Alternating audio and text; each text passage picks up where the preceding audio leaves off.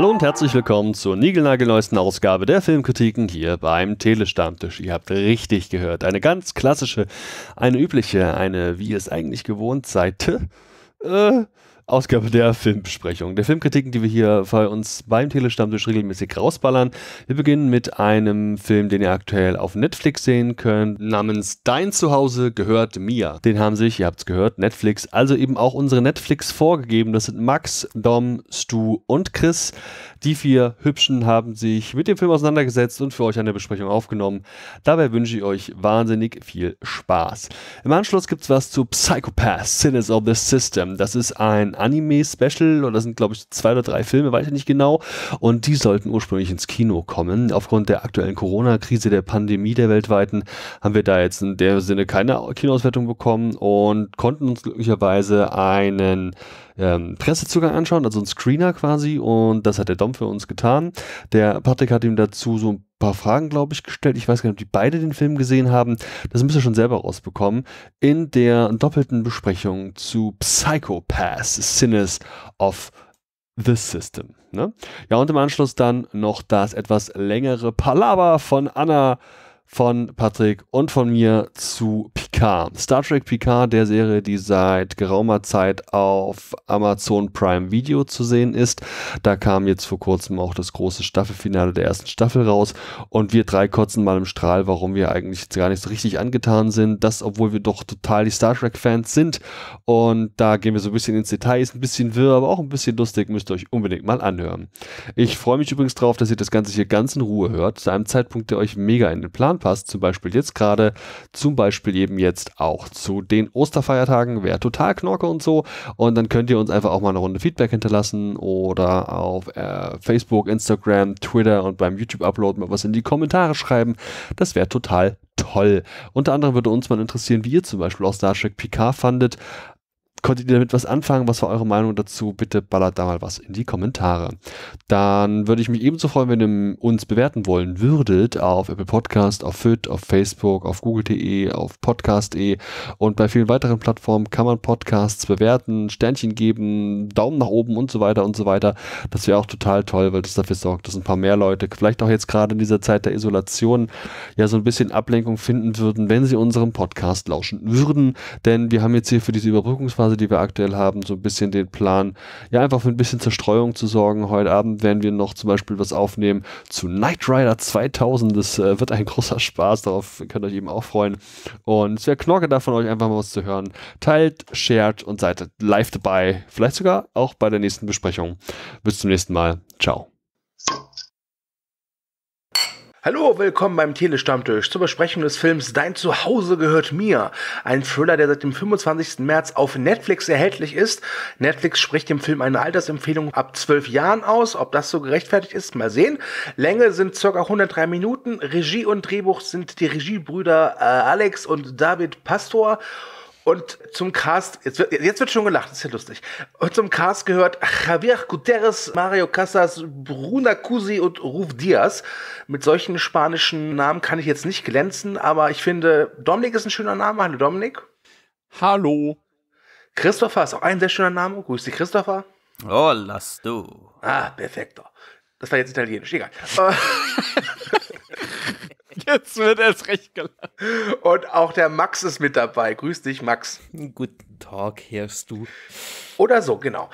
Ja, Max ist unser Kamerakind. Genau, genau. Bevor wir jetzt uns unterhalten, wie wir den Film fanden, wer die Netflix vor beim Telestammtisch kennt, weiß, wenn man die Hand zusammenfassen muss, gibt es einen Mann, der kann das besser als jeder andere, nämlich der Christopher. Und ich sage nur Christopher, hau rein. Soll ich das mit spanischem Akzent machen? Ah, nee, das wäre Bitte nicht. Soll ich Hintergrundmusik dazu machen? ja. Bitte nicht. Unterleg es bitte mit so einer Gitarre. Holla! es läuft nicht gut im Leben von Javier. Seit einer Weile schon ist er ohne Job, ein neuer ist auch nicht in Aussicht und nun wird auch noch das Geld knapp, weswegen er sich von allem trennen soll, was ihm wichtig ist. Das Auto und auch andere Besitztümer.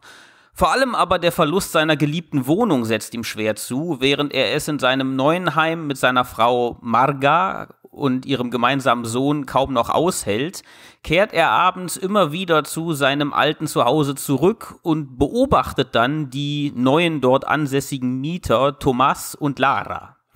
Doch das alles reicht ihm irgendwann nicht mehr aus. Er sucht ständig einen Vorwand, um mit Thomas und Lara ins Gespräch zu kommen und sich regelrecht in ihr Leben zu schleichen und richtig daran teilzunehmen. Denn er hat einen sehr gefährlichen Plan gefasst. Er will sein altes Leben, sprich seinen alten sozialen Status zurück, koste es, was es wolle. Und dann tritt er eine Kette von Aktionen in Gang, die schon sehr schnell erahnen lassen, dass es dem Mann aus emotionaler Hinsicht und psychischer Hinsicht wirklich nicht gut geht. Ja, vielen Das Dank. Fazit. Und ähm, ich bin auch begeistert, wie Spanish du die Namen ausgesprochen hast. Hast du wirklich sehr gut gemacht. War sowas. Also auf den Christopher ist Verlass. Danke, Wer. Bitte. Waren ja Lispeln alle. Ja, ne? genau. Ja. Also es war meine Idee, diesen Film zu besprechen, denn er ist seit, wie gesagt, seit gut einer Woche erhältlich und hat es in die Netflix Top 10 geschafft. Das ist ja immer so ein guter Indikator, dass dieser Film gerade beliebt ist. Und der hat die Welpenakademie verdrängt. Ich weiß, das ist schlimm, aber wir haben uns darauf geeinigt, dass wir das jetzt nicht thematisieren wollen. Es ist schlimm, aber so ist das Leben nun mal. Gut. Ich möchte diese Besprechung mit einer Frage beginnen. Ich habe mich im Laufe des Films gefragt, ist das eigentlich ein Home Invasion Thriller oder könnte man da schon eher von Live Invasion Thriller sprechen? Dominik, was sagst du?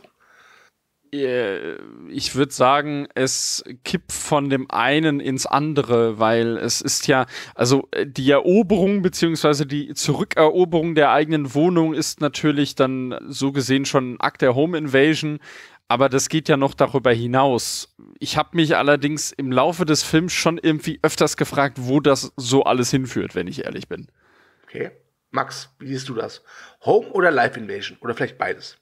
Mm, Also ich würde sagen eher Live Invasion, weil es äh, eigentlich, ja, die Home Invasion hört ja praktisch mehr oder weniger in der Mitte des Films irgendwann mal auf, weil Mhm. da hat er ja sein Ziel erreicht, mehr oder weniger. Live Invasion aus dem Grund, weil ich glaube, da eine, äh, eine Sache passiert, die der Protagonist selbst nicht so ganz wusste, ist, dass er ja dann auch anfängt, mehr oder weniger nicht nur den Status zurückerobern zu wollen, sondern sich mehr oder weniger auch andere Sachen aus dem Leben von Thomas äh, greift und holt, ohne da jetzt spoilern zu wollen. Ich habe den Begriff Live Invasion als Subgenre so noch nie gehört. Den gibt's auch nicht. Den habe ich auch extra gerade eben erfunden. Brillant. Tatsächlich. Ja. Steht Danke. nachher beim Movie Break drin. Ja. Gut. Gefällt mir aber. Kann man so übernehmen. Danke. Danke. Das war mein Teil zur Filmhistorie. Jetzt kann ich beruhigt sterben. Und auch in allen filmischen Lexika wird er immer wieder auftauchen. Mit seinem Namen drunter. Komm, Genau. kommen wir zur Wertung. Genau. Kürzester Cast hier ever. Mich hat der Film größtenteils an einen anderen spanischen Thriller erinnert, der vor ein paar Jahren sogar hier im Kino lief, nämlich den Film Sleep Tight. Hat ihn jemand von euch gesehen? Nope. Nö. Gut. Wie hat der irgendwie einen anderen Titel auf Deutsch? Äh, nein, der heißt Sleep Tight. Dann, dann weiß ich es nicht. Also den spanischen Titel konntest du nicht aussprechen, deswegen. Also ich, ich mag ja diese spanischen Krimis und ich mag diese spanischen Thriller sehr gern. Vor allem die, die da aus diesem The Body oder Unsichtbare Gast äh, Subkon bla bla bla Text entstehen. Aber nee, kenne ich leider nicht. Ah, der ist auch bei Netflix jetzt, der unsichtbare Gast. Ne? Äh, ja, schon seit, schon seit langem. Und der Tomasch wird ja auch gespielt, glaube ich, von Mario Casas, der auch in der unsichtbare Gast mitgespielt hat. Und der Javier wird ja von, oh Gott, hab ich richtig aus, egal. Und der Javier oder Javier oder wie immer er heißt, Javier. Javier. Genau, äh, der gespielt wird von Javier Guterres, der ist ja auch der Hauptdarsteller von La Isla Minima, also Mörderland, also durchaus zwei bekannte spanische Produktionen. Ich mochte dein Zuhause gehört mir, aka Hogar, so heißt im Original, das heißt so viel wie nach Hause, sehr gerne, denn ich finde, das ist zum einen ein sehr kleiner, perfider, gemeiner Thriller, zum anderen thematisiert er aber auch, ich nenne es mal, die Droge des Wohlstands. Denn wie Christopher es so wunderschön zusammengefasst hat, dieser Name mit J, ja? Der, der, der will halt wieder da, da sein, wo er einst war. Und es, ja. es, es, fängt, es fängt so mit Kleinigkeiten an, wo man aber, wie ich finde, schon sehen kann, wohin die Reise geht. Relativ zu Beginn des Films ähm, macht er halt Sport mit seinem Sohn und der Sohn ist übergewichtig. Und der hetzt den Jungen mit, ich sag mal so, sanftem Druck immer mehr so einen Hügel drauf, bis der kleine kotzt. Mhm. Und seine Reaktion darauf hat schon mir sehr ersichtlich gemacht, das ist ein Mann, der tut alles für den Status. Und es ist keine sympathische Figur, aber ich fand ihn an sich sehr interessant. Dominik, wie hast du die Hauptfigur wahrgenommen? als ein bisschen schwierig. Also die ist nicht, also ich, ich mag das, wenn eine Figur nicht so bis zum geht nicht mehr darauf gemünzt ist, dass man sie jetzt sympathisch findet. Und äh, durchaus bin ich bereit, auch solchen Figuren, die so, ja, ambivalent zumindest dargestellt werden, zu folgen. Ich hatte mit ihm aber irgendwie Probleme. Ich weiß auch nicht, woran das liegt. Wobei diese Figur sehr, sehr perfide angelegt ist in dem, was sie tut und inwiefern sie dann handelt und reagiert. Mhm. Mir hat es gut gefallen, dass er in der Werbebranche tätig ist oder tätig war, mhm. weil das muss man sich mal überlegen. Da ist dieser Mann, der besessen ist von seinem sozialen Status. Und in seiner Arbeit macht er nichts anderes, als gelackte Oberflächen zu entwerfen und Trugbilder zu erschaffen von einem schönen Zuhause und der perfekten Familie. Mhm. Und da kann man irgendwie von ausgehen, dass unbewusst auch sein Job bei ihm vielleicht eine Art Gehirnwäsche angerichtet hat. So, er, er hat sein ganzes Berufsleben damit verbracht, immer diese schönen Scheinbilder zu entwerfen bis er irgendwann eben auch daran glaubt, es gibt nichts Wichtigeres als das. Das ist alles, was zählt. Und so scheint irgendwie auch der Job ein bisschen damit einherzugehen, wie eben sein Sinneswandel und seine Geisteshaltung ist. Ja, es ging ja schon aus der Eröffnungssequenz hervor, ne? Die einen ähnlich schönen Bruch hatte, eigentlich wie zuletzt Uncut Gems, fand ich.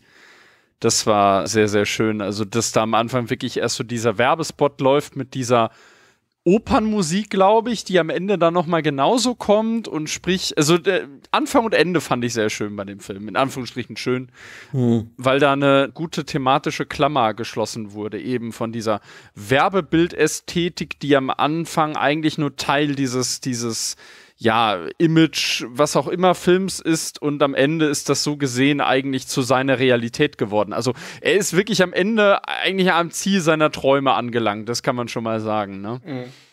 Max, was sagst du zur Hauptfigur?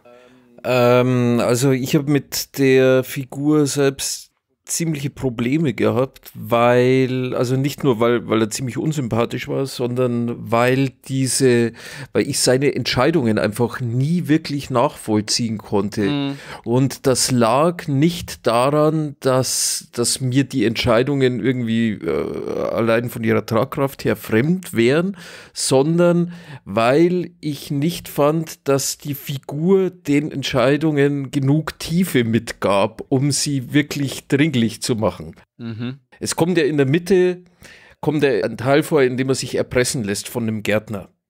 Und ich finde, was der Gärtner da verlangt, schon unglaublich extrem. Ja, ja. Ziemlich, ja. Ja. ja. Schon überspitzt eigentlich fast schon. Ja. Und ähm, die Art und Weise, wie halt Javier damit dann umgeht und wie äh, locker er die ganze Geschichte mehr oder weniger nach außen hin weiterträgt, nur um seinem Ziel näher zu kommen, das fand ich schon ziemlich befremdlich, muss ich sagen. Aber es ist doch im Prinzip dieselbe Oberfläche, die er früher immer verkauft hat. Er versucht doch auch von außen so dazustehen, dass er immer noch zu dieser, ich nenne es mal gesellschaftlichen Oberschicht gehört. Naja, dazu klar, gehört ja auch, dass er ja den Schein wahrt und sich nicht so einfach halt aus der Ruhe bringen lässt. Ich fand das eher das ziemlich, äh, jetzt habe ich das Wort nicht ein. äh, nee, ähm, nee, nee, also ich meine, ich muss, ich muss der, der, der Sache, die Christopher da äh, gesagt hat, muss ich zu 100% recht geben, dass, dass du schon irgendwie merkst, dass der Beruf ihn äh, zum großen Teil irgendwie aufgefressen und wieder ausgeschissen hat. Aber ja, so American Psycho lässt grüßen. ja, nee, aber diese, diese Kühle, also der, der Kerl ist ja sehr, der ist sehr emotionslos. Mhm. Der hat eine, ich würde sagen, eigentlich wäre er von seinem Verhalten her, würde ich ihn schon fast irgendwo so in die, in die, äh, ganz stark in so eine Psychopathenrichtung reinschieben, weil die ja auch immer, keine Ahnung, Sozialprobleme und so weiter haben. Aber irgendwie, ich habe, ich habe ihm diese, diese Dringlichkeit, diese Ziele habe ich ihm nicht abgekauft. Was ich ihm schon dann eher abgekauft habe, ist, der Film inszeniert ihn ja durchaus einsam. Und er selber will ja irgendwie auch von seiner Umwelt als einsam wahrgenommen werden, weil er sagt dann ja, glaube ich, also er lernt ja diesen Thomas, lernt er ja, glaube ich, in einer Selbsthilfegruppe kennen. Und dem verkauft er sich dann aber irgendwie als mittelloser Typ. Und er hat ja zu Hause eine Frau und auch ein Kind. Und das ist wieder so ein bisschen, äh, eigentlich, äh, stimmt schon, er verkauft sich eigentlich wie so ein Werbespot. Mhm. Na? Man, man, keine Ahnung ich sehe dann irgendwie so einen Typ von mir, ich suche Arbeit jeder Art oder so in einem, in einem Werbespot. So, so stelle ich mir das eigentlich vor. So will er nach außen hin wirken. Mir fehlen auch ein paar Szenen, die irgendwie seine, seine Fluchtgedanken irgendwie unterstützen. Mhm. Ich meine, es beginnt ja eigentlich damit, dass, dass, dass er seine alte Wohnung verliert oder beziehungsweise halt umziehen muss aus finanziellen Gründen. Und das ist eigentlich so das einzig wirklich Einschneidende, finde ich. Ja, das da ist so. Gut, man merkt halt im, Vor im Vorfeld hat er Probleme, einen Job zu finden und dass er eigentlich mehr oder weniger von seinem, von seinem Legendenstatus lebt, was die Sache wahrscheinlich noch ein bisschen schwieriger macht, weil, weil er von allen Seiten gesagt bekommt, naja, du bist jetzt gerade nicht mehr angesagt. Du bist jetzt aktuell nicht interessant. Du warst vielleicht vor 15 Jahren interessant, aber du bist es jetzt nicht mehr, weißt du? Wie, wie er dann da auch abgespeist werden soll an einer Stelle mit diesem Praktikum. Äh, Arbeitsvertrag, den er da unterschreibt. Ja, ja, das ist, äh, das ist ein Missverständnis. Also das fand ich sehr glaubwürdig, denn das hörst du so häufig, dass irgendwelche Leute angelockt werden mit vermeintlichen Ausbildungs- oder Angestelltenverhältnissen und dann letzten Endes das einfach nur ein Praktikum ist.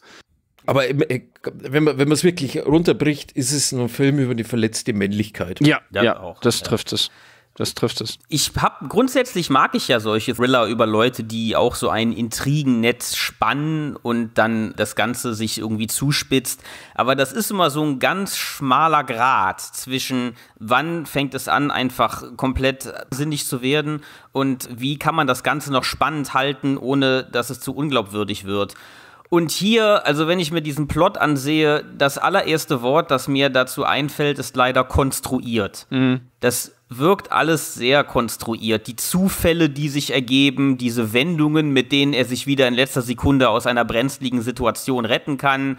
Also hier und da, ich, ich finde das Skript nicht vollkommen hirnverbrannt, aber an, an manchen Stellen, wie hier alles zusammenläuft, denke ich mir, ja, also der hat, das hat mich teilweise ein wenig erinnert an Matchpoint von Woody Allen. Mhm. Und, und, und, und da war der Plot bei weitem nicht so komplex in allem, was hier passiert und alles, was für grausame Dinge sich die Hauptfigur ausdenkt. Mhm. Ja gut, aber da, ja, da, da, da würde ich fast sogar sagen, dass das vielleicht auch so ein spanisches Ding sein könnte, weil die vorher schon angesprochenen Unsichtbarer Gast und The Body und überhaupt diese ganzen Krimis, die leben ja eigentlich tatsächlich von ihrer Konstruktion und von den Wendungen und von dem, wie oft der Zufall irgendwelche Sachen anspült und dann äh, sehr überraschende Dinge einfach erschafft. Mhm. Und ich finde, die, ich, ich mag es, wenn die Sachen dann wirklich gut überraschend sind und einen dann ein bisschen vom Hocker hauen. Und ich finde aber, das hat jetzt der Film nicht so gut geschafft. Also ich, ich weiß, was du, was du meinst man weiß immer so, was als nächstes kommt oder warum er was macht. Mhm. Aber ich fand, das hat für mich gerade den Reiz ausgemacht, weil ich dann wirklich mich erwischt habe, wie ich halt vor dem Film saß und mich schon so, ja nicht gefreut habe, aber schon gespannt war, okay, äh, wie genau, wie wird es jetzt enden? Ich weiß, wie es enden wird, aber der Weg dahin, den fand ich immer spannend. Als Beispiel, er bestellt sich halt eine Flüssigkeit, die aus Erdnüssen besteht. Ich gehe jetzt nicht darauf ein, warum das wichtig ist, aber man weiß zu dem Punkt schon relativ genau, was er damit vorhat. Mhm. Und muss sagen, als es dann halt dazu kommt, dass diese Substanz zum Einsatz kommt, war mir schon irgendwie klar, wie es endet. Aber irgendwie hat mhm. es so, aha, so ein, so ein, so ein Peak-Moment. Und von denen hat der Film echt ganz viele. Und ich kann dann nur noch mal für die werten Zuhörer sagen, wenn euch der Film gefällt, dann guckt euch Sleep Tight an. Der ist, finde ich, doch ein bisschen besser. Der ist noch wesentlich spannender.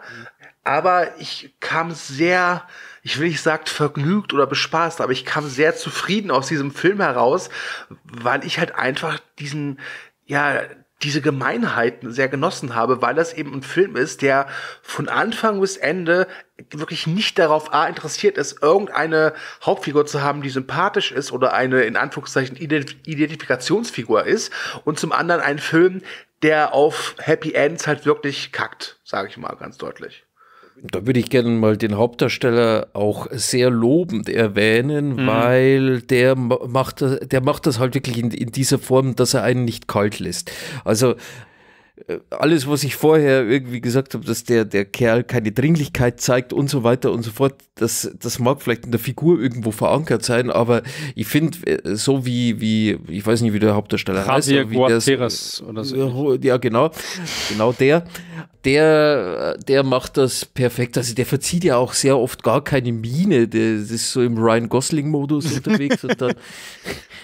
Jetzt packst du aber ein Kaliber hier aus, ja. Ja, es ist halt schön, dass äh, das Unheimliche von dieser Figur kommt zur Geltung durch das eigentlich Alltägliche. Man verzichtet ja halt auf übertriebenes Schauspiel, es, es kommen keine anderen Psychopathen-Klischees zum Vorschein es wird halt zum Glück niemals irgendwie cartoonisch. Er, er, er mhm, bleibt mhm. ein ganz normaler Mann, der seinem Alltag auch ganz normal nachgeht, aber dann eben diese, diese Lügen erzählt und diese Szenarien entwirft und macht das mit kühler Präzision, als würde er eigentlich seiner normalen Arbeit nachgehen. Mhm. Ja, das sind aber dann wirklich so die Psychopathen, die man dann wirklich auch eher kennt, die nicht so karikaturesk daherkommen, ja. sondern die wirklich so im, in Bezug auf ihn trifft das sogar richtig zu, eben soziale Raubtiere sind. Mhm. Ne? Also auch von ihrer Motivation her. Ich muss allerdings sagen, dass, also gepackt hat mich der Film tatsächlich erst im letzten Drittel, weil ich finde, dass, also der geht zwar nur irgendwie 100 Minuten, aber die erste Hälfte fühlt sich echt lang an. Also, weiß nicht, ob das jetzt nur bei mir so war, aber ich finde, da stimmt das Pacing nicht so ganz. Und ich finde auch, man hätte aus diesem Plot zum Beispiel mit diesem, was war das, Hausmeister Gärtner, Schlag mich tot. Gärtner. Da hätte man noch ein bisschen mehr raus machen können. Also der wird irgendwie so ein bisschen, bisschen abgefrühstückt wie so ein Kapitel eines Buches oder so. Also so, so abgearbeitet. Aber ich fand, ich fand, also ich fand das mit dem Gärtner aber in der Hinsicht sehr gut, weil es hat ja halt nochmal wirklich unterstrichen, was das für ein Typ ist, diese Hauptfigur. Denn der Gärtner fordert halt Dinge, wo ich glaube, wie alle drei sagen würden, ey, sorry, Dude, aber no way, machen wir nicht. Ne? Das, das, das, das überschreitet klar eine Grenze. Und äh, er hier sagt halt so, was bist du, was, was soll das? Und dann aber gleich danach wird der Schalter wieder umgelegt und okay, ich mach's. Und und ich, zumindest so ging's mir, hatte schon so, äh, so im Gefühl, okay, im Hinterstübchen plant er jetzt schon wieder den Typen los wird, was er ja auch getan hat. Na, ich frage mich nur, was da in dieser speziellen Szene, wo der Gärtner halt das erste Mal das verlangt, was er verlangt, was da in den beiden Köpfen der Personen vorgeht. Also ja, da, da ja. ist so die, wirklich, die, da denke ich mir, da, okay, ich sitze jetzt da, schreibe das Drehbuch, versuche mich jetzt da irgendwo in die Lage des Drehbuchautors reinzuversetzen und denke mir, der eine macht sich doch vom anderen extremst erpressbar. Der hat doch gar keinen Grund, den zu erpressen, weil die Tat, die er verlangt, eigentlich um so vieles schlimmer ist dass er eigentlich davon ausgehen müsste, dass der andere genauso guten Grund hätte, ihn an die Polizei zu fragen. Also ich habe da keinen, weißt du, also der Gärtner hatte halt schon die Macht, ihn komplett aufliegen zu lassen und dann wäre sein ganzes Unterfangen umsonst gewesen. Mhm. Mhm. Und das hätte der Gärtner ja so oder so machen können, auch wenn er ihn auffliegen lassen wollte. Ich fand es halt interessant, dass der Gärtner hat seine erste Forderung gestellt und er ist dieser nachgekommen. Dann kam die zweite Forderung und er hat es verneint. Und da frage ich mich, ob es dann tatsächlich um moralische Grenzen geht, ausgerechnet bei dieser Hauptfigur, oder ob er gesagt hat, ja, aber wenn ich das auch mache, dann könnte das meinem Vorhaben im Weg stehen, denn äh, ich habe ja mittlerweile an mehr Dingen Interesse als nur an dieser Wohnung, teilweise ja, ja auch an den Menschen, die da drin leben. Ich, ich glaube, das war's, ja. Ich glaube einfach zum einen, dass er halt festgestellt hat, okay, der wird mich immer weiter erpressen. Mhm. Ne? Und ich glaube auch, dass also für, für die Hauptfigur, was er tut für sich selbst, ist ja absolut okay. Ja, es ist absolut selbstverständlich und er tut für sich das Richtige. In, in, in, seiner Perspektive ist es das Richtige. Und was dieser Gärtner von ihm will, ist einfach nicht das Richtige. Das passt nicht in diese Werbewelt. Mhm. So habe ich es verstanden. Und das war mit auch ein Grund, warum er dann halt gesagt hat, okay, ziehen wir jetzt hier mal einen Schlussstrich. Macht Sinn. Nee, es, es gibt ja, ich glaube, er hat, da, dass das zweite Mal diese Forderung verneint wurde, hat, glaube ich, echt nur damit zu tun. Ich meine, du musst, du, ich, ich habe es irgendwie so vor Augen, dass er praktisch das, was er vorher hatte, was er den, was er den Hügel hochgescheucht hat, dass er das jetzt umtauschen kann gegen eine optimiertere Version. Ja, ja. ja. Das stimmt, ja, ja. Stimmt, weil er will ja seinen Sohn sportlicher machen, weil zur, ich sag mal, Traumfamilie zählt natürlich auch ein Kind, mhm. was jedes dritte Wochenende zu irgendeinem Turnier geht und mhm. dann mit einer Goldmedaille zurückkommt. Ne? Richtig. Ne? Und das ist ja etwas, was sein Sohn definitiv nicht liefern wird. Ja, aber Max hatte schon vorhin richtig ausgedrückt, mir fehlt da tatsächlich, also ich, ich konnte nicht so wirklich erfassen, was so mein Problem war, aber es fehlt so wirklich ein bisschen die Dringlichkeit und zum anderen auch so das Innenleben der Figuren. Vielleicht ist das natürlich auch der Clou an seiner Figur, dass man das Innenleben nicht so wirklich erfassen kann. Mhm. Und es ist ja schön, dass sie, dass sie weder das irgendwie äh, überspitzt haben. Also ich meine, das Ganze hätte ja auch eine Satire sein können. Ne? aber äh, vielleicht ist es mir dann irgendwie zu subtil. Ich, ich, weiß, ich, ich kann es ganz schwer in Worte fassen, was mich da gestört hat. Das ist ein sehr seltsamer Fall für mich. Ja, ich weiß, was du da meinst, weil mir geht es da ähnlich der Film stellt sich mit seiner kühlen und subtilen Inszenierung irgendwo selbst ein Bein, dass bestimmte Dinge, die deutlich werden sollten, nicht deutlich genug werden. Mhm. Also ich, ich habe die ganze Zeit auch mit Ideen rumgespielt, die da irgendwie helfen könnten und so ein ganze, so die ganze Zeit innere Monologe aller Patrick Bateman zu hören, wären vielleicht zu viel gewesen. Ja, das ist zu sehr Holzhammer dann. Das, das, ja. Thomas, kennst du die Gypsy King? Ihre ersten Alben haben mir nicht so gefallen, aber ja. ihr drittes dann, ihr absolutes Meisterwerk. Ist hip to be square. Ja. Bombolayo, wundervoller Song. ah ja, stimmt, das ist in Spanien. Ja. Dazu kommen wir dann, wenn das US-Remake angerollt kommt, ne? Das kann ich mir sehr gut vorstellen. ja, wer weiß, wer weiß. Aber, ja. Solange es nicht Christian Albert macht. Oh nein, oh, nee. Christian Albert dreht das US-Remake. Also es könnte, durch, es, es könnte durchaus sein, dass der Remake kommt, vor allem weil die Regisseure, dieser äh, Alex und David Pastor, haben ja ihren ersten Spielfilm gemacht, hier Carriers mit äh, Chris Pine. Mhm. Das war ja eine spanisch-amerikanische Co-Produktion. Vielleicht machen sie auch das Remake, wäre nicht das erste Mal, dass ein originaler Regisseur das Drehbuch, ach, das Remake macht, ne? Ja, um einen Fuß in die Tür zu kriegen, so was den US-Markt betrifft, klar. Ja. ja. bei spanischen Filmen geht das ja auch sehr schnell. Siehe Quarantäne, ne, hier mit Wreck oder hm, was, ne? Ja, so, glaube ich. Ja. Kam im selben Jahr noch raus. Ja. Okay, ihr Lieben, habt ihr noch irgendwas, was ihr jetzt dein zu Hause gehört mir loswerden wollt, außer dass der deutsche Titel scheiße ist?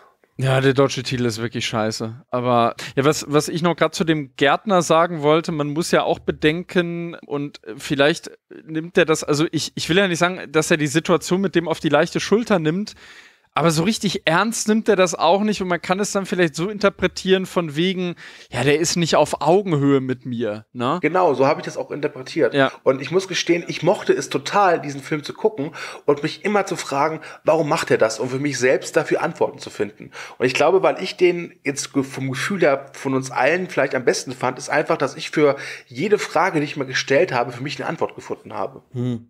Ja gut, das ist natürlich ein interessanter Gedanke, dass du dir irgendwie selber Antworten suchst innerhalb der Handlung, weil die Handlung oder beziehungsweise so die Abläufe des, also wir, wir haben, da hat Max schon so den Finger in die Wunde gelegt, mir haben so irgendwie Stellen gefehlt, wo du das Gefühl hast, dass er jetzt gerade eine Entscheidung getroffen hat, zum Beispiel.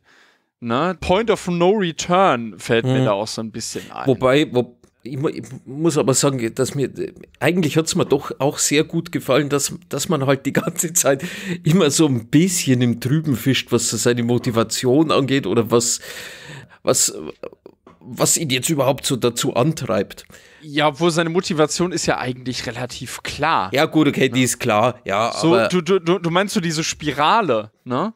Eben, äh, nee, du hast, du hast in 100.000, ich glaube, in, in neun von zehn Filmen hättest du da wahrscheinlich immer wieder irgendwelche Vorfälle, die, die ganz klar strukturieren sollen. Jetzt kommt der Punkt, an dem er mhm. hier ist, an dem er diese Entscheidung getroffen hat. Hier kommt der Punkt, an dem er die Entscheidung getroffen hat. Und das macht halt dieses Drehbuch nicht. Das, ich will nicht sagen, dass es dich im Ungewissen lässt, aber du, du musst die ganze Zeit immer mit hinterfragen. Und das ist eigentlich ein ganz guter Schachzug, finde ich vielleicht hätte hier und da vielleicht ein bisschen mehr psychologisieren können. Mhm. Also wir alle wissen, ihm geht es um den sozialen Status. Aber warum ist er so oberflächlich bis zur Schmerzgrenze? Mhm. Warum ist ihm dieser Status so wichtig? Das ist, da kann man sich jetzt drüber streiten, ob es gut war, das wegzulassen oder hätte da eine kleine Erklärung oder vielleicht auch eine Flashback-Szene in die Vergangenheit hier und da gut getan. Ja, ja. Ich habe ihn halt als, ich habe ihn tatsächlich als Wohlstandsjunkie mhm. wahrgenommen der halt den in Anführungszeichen nächsten Schuss braucht. Und was mir an der Figur auch gefallen hat, ich hatte immer das Gefühl, dass das ist so ein Psychopath. Ich könnte mir vorstellen, dass es solche Leute halt wirklich gibt. Ja, also ja. als Beispiel Hannibal Lecter ist, ist halt total ja, gruselig und toll geschrieben, aber ich habe keine Angst, irgendwie über die Straße zu gehen und Hannibal Lecter zu treffen. Hm. Aber ich finde gerade, ich finde gerade in, in, in unserer jetzigen Gesellschaft sind solche Typen, glaube ich, gar nicht mal so selten, weil die wird ja immer vorgelebt. Toll, guck mal hier, ich und mein neues Auto, ich und meine neue Wohnung, mhm. ich und der teure Luxuschampagner, hier Influencer hier, Influencer da und bitte like das und guck mal, wie toll meine neuen Sneakers. Und ich finde, das ist gar nicht so, es ist schon vielleicht schon ein Stückchen weg von der Realität, aber auch nicht so weit. Ja, ist, jeder von uns könnte solche Menschen schon getroffen haben, ohne dass wir es wissen. Das ist absolut. Ich tippe ja, dass Max so einer ist. Ja, das bin ich definitiv. ja, er mag den Look. Also ich, ich, mag, ich mag, mag alles so gern. okay, die Einrichtung. Okay. Ja. Ich wollte eigentlich schon vor fünf Minuten zum Fazit kommen. Ja, ja, ähm, genau. Wir haben es mal wieder geschafft. Wir haben es mal wieder geschafft, ja. ja. Deswegen frage ich jetzt nicht noch mal, ob noch irgendwas übrig geblieben ist. Nein, ich bitte euch jetzt um euer Fazit. Ihr könnt vergeben 0 bis 5 defekte Laubsauger. Oder Laubbläser. Sowas. Laubbläser. Damn. Yeah. Ja, wer möchte anfangen? Achso, ja, äh, es fängt immer an, der, der fragt, also Dominik.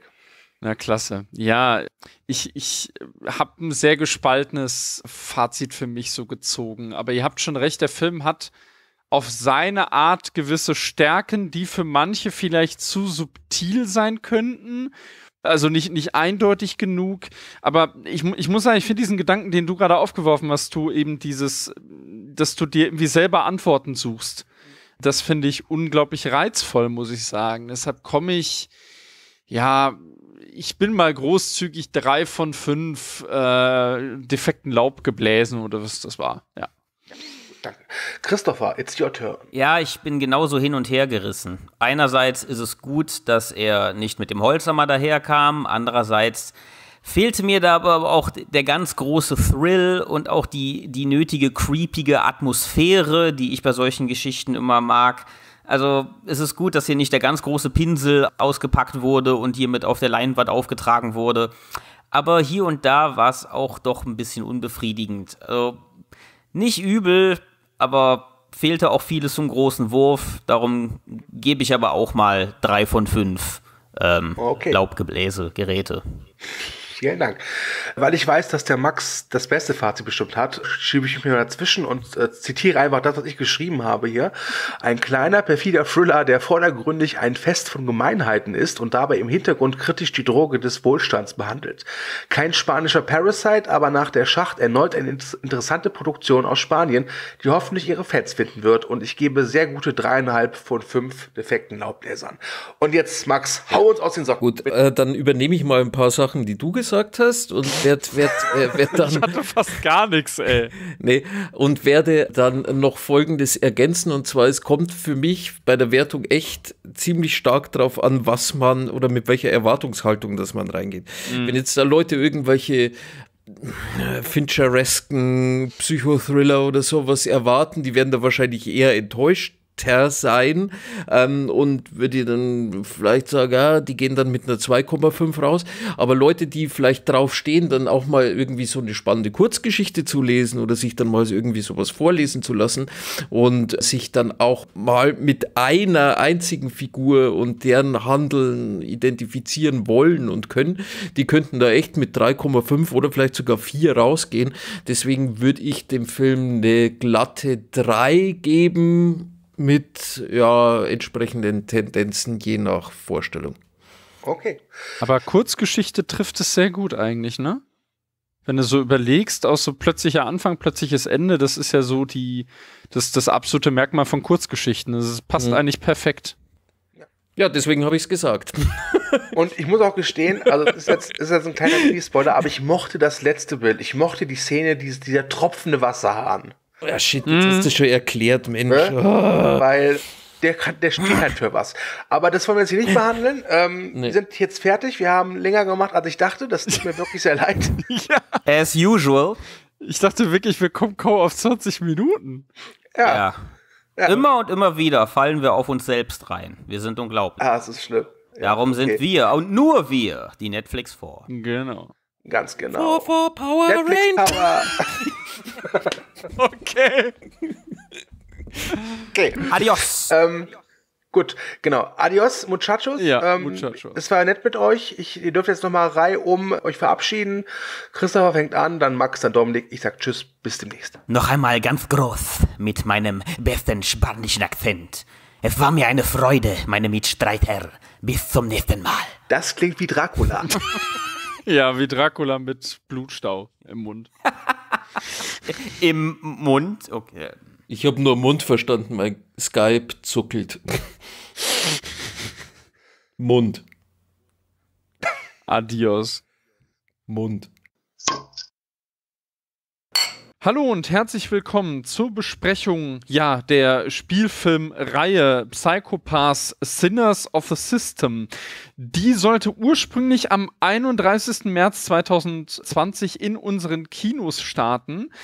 Allerdings kam ein äh, gewisses Ereignis mit C und Orona am Ende dem Ganzen in die Quere.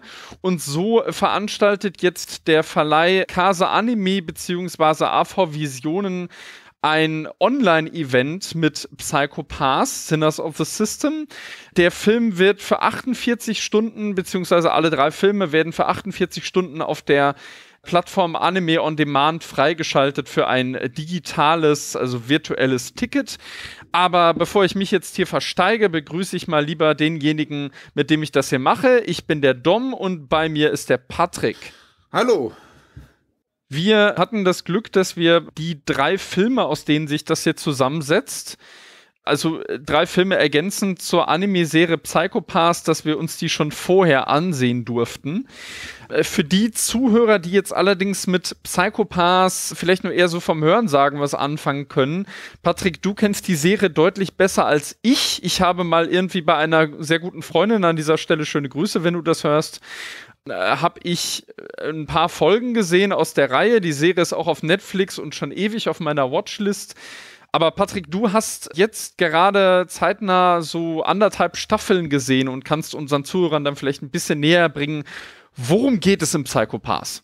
Wir sind jetzt im Jahr 2117. Eine Maschine kann quasi Gewaltverbrechen vorhersagen und sie erkennt auch das Gewaltpotenzial eines ermittelnden Agenten oder der voranstehenden Person an. Also das scannt einen regelmäßig ab und wenn du zu gewaltbereit bist oder zu viel Spaß daran hast, dann verweigert dir diese Maschine auch quasi den Schuss oder sagt, nee, nee, ihre Farbe ist jetzt grau. Sie werden jetzt potenziell gefährlich eingestuft und müssen irgendwie eliminiert werden oder beseitigt werden.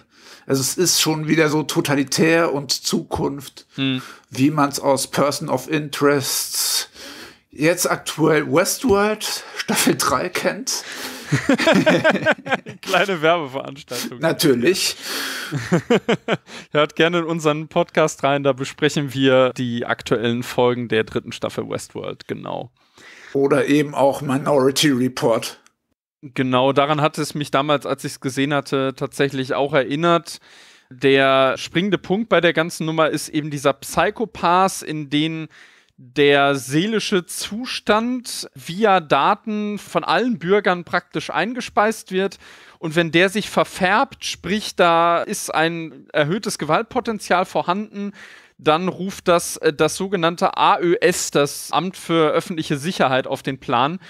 Und die, ja, sind im schlimmsten Fall Vollstrecker. Und inwiefern die vollstrecken, wird dann auch gern mal gezeigt und da wird es ganz schön blutig, sagen wir es mal so. Das wird oft ein ziemliches Gulasch aus Eingeweiden und auch oft bisschen elektronischen Überresten. Viele der Menschen sind jetzt mittlerweile auch auf Cyborg-Technik angewiesen, mhm. was wir auch aus Neon Genesis, äh, nee, nicht Neon Genesis Evangelion, sondern aus Ghost in the Shell kennen dürften. Genau, es ist ähnlich wie Ghost in the Shell, ist es auf jeden Fall äh, reinrassiger Cyberpunk, wenn auch als Krimi, Thriller und äh, ja, es ist vor allem ein Anime. ähm, ja, die Serie läuft seit dem Jahr 2012. Bislang existieren zwei Staffeln. In Japan ist allerdings, wie ich das gelesen hatte, Ende des Jahres eine dritte Staffel an den Start gegangen. Wer Spaß daran hat, der kann sich gerne die ersten beiden Staffeln bei Netflix ansehen. Da sind die komplett drin.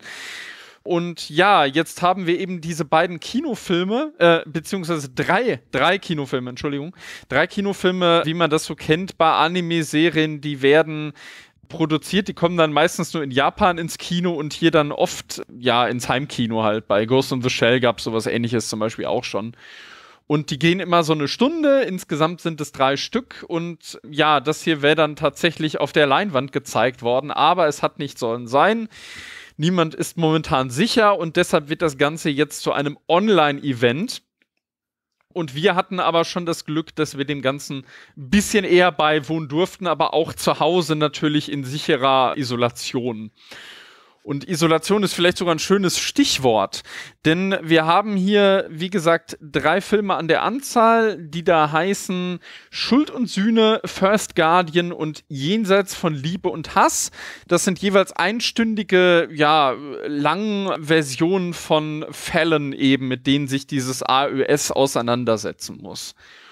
Und ja, ich würde sagen, wir gehen mal chronologisch durch. Ne? Die Filme sind alle aus dem Jahr 2019, soweit ich weiß.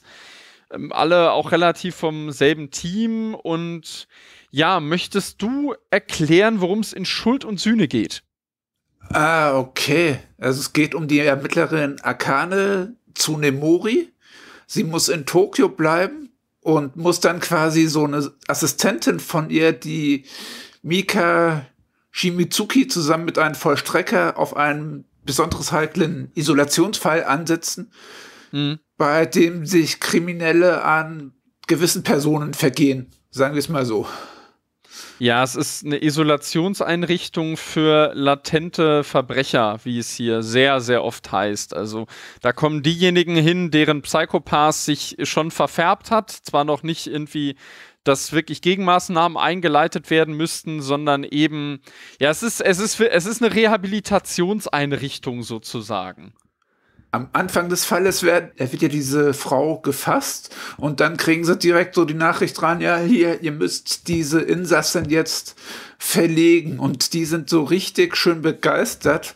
Mhm. Die Mika ist ja eh der Regierung schon bekannt, deswegen schickt sie ihre Assist Ach nee, die Arkane schickt die Mika hin, weil Arkane ist schon dem System bekannter, würde die da aufschlagen. Man würde da sofort Lunte riechen, damit dieser Transport auch weitestgehend geheim bleibt. Genau. Aber wie es halt in so einem Action-Spektakel so ist, es bleibt nicht geheim, der Transporter wird abgefangen und die Kacke ist am Dampfen. Genau, und dann spielt ein Großteil dieser Folge in einer Einrichtung, die ziemlich weit abgelegen ist, in einem Schneegebiet ich muss zugeben, mich hat das Ganze so ein bisschen an äh, Shutter Island erinnert. Wie war es bei dir? Die Location, ja, die hat auch diese schöne Isolation vermittelt. Mhm. Ich fand auch diese transportierende Frau, die haben sie gut charakterisiert. Du hast dich selber wie die Ermittler auch gefragt, ja, so, so einen schlimmen Eindruck macht sie auf mich gar nicht. Die Leute, die hinter ihr her sind, hingegen machen dann einen total creepigen, ja. Eindruck und du denkst, ja, wieso sind die jetzt nicht in diesen Isolationsraum. Und wieso dürfen die für irgendwelche Institute arbeiten? was ich, ähm, also wie gesagt, ich kenne das ja nicht, aber man muss da zusammen, man kann sich diese drei Spielfilme auch durchaus ansehen, also wie du auch schon meintest, ohne großes Vorwissen der Hauptserie. Es gibt hier zwar bei jeder Folge, beziehungsweise jedem Film gibt es einen Charakterfokus, beziehungsweise halt eine, Situation, wo eben ein Charakter aus diesem Team in den Vordergrund gestellt wird und man braucht da aber jetzt keine großartigen Vorkenntnisse, um da durchzusteigen. Wobei ich sagen muss, es ist halt typisch für ein Anime, die Dialoge bestehen aus extrem viel Exposition. Ne? Also, das ja. Das haben Animes aber eh meistens so an sich. Sogar ja. Studio Ghibli arbeitet viel mit Exposition und wirft einen direkt ins Geschehen rein. Ja, ja, genau. Das, äh, hier war es nur halt so ein bisschen, es sind hier halt keine Fantasiewelten, die sich auftun, sondern irgendwelche Amtsbezeichnungen und Orte und Personen und es ist manchmal schon nicht ganz leicht da mitzukommen, wenn man, also man, man darf das nicht so nebenbei schauen, finde ich. Ich meine jetzt nicht, dass das jetzt irgendwie hoch anspruchsvoll ist, aber die Dialoge, die sind manchmal schon ein bisschen, bisschen umständlich, aber vielleicht liegt das auch an der Synchro. Ja, was ich sehr interessant fand an dieser Folge, und das hast du gerade eben auch schon angeschnitten, äh, die administrativen Personen, die da auftreten, die wirken schon sehr zwielichtig und dahingehend ist es dann irgendwo vorhersehbar. Was ich aber sehr toll finde, und das muss ich dann jetzt eben losgelöst von der Serie betrachten, äh, diese Handlung zeigt sehr gut auf, wie fließend die Grenze ist zwischen den Ermittlern den latenten beziehungsweise handfesten Verbrechern. Richtig. Ne?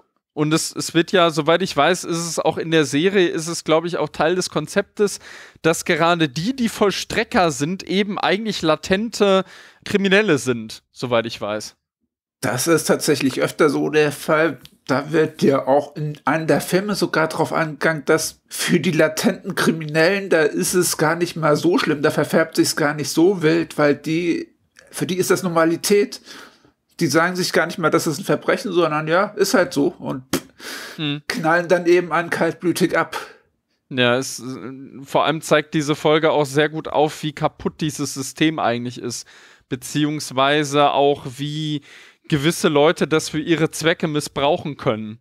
Ne, also auch eben diese, diese Isolationsanstalt. Wir wollen es jetzt natürlich nicht vorwegnehmen, ihr sollt den Film ja noch schauen.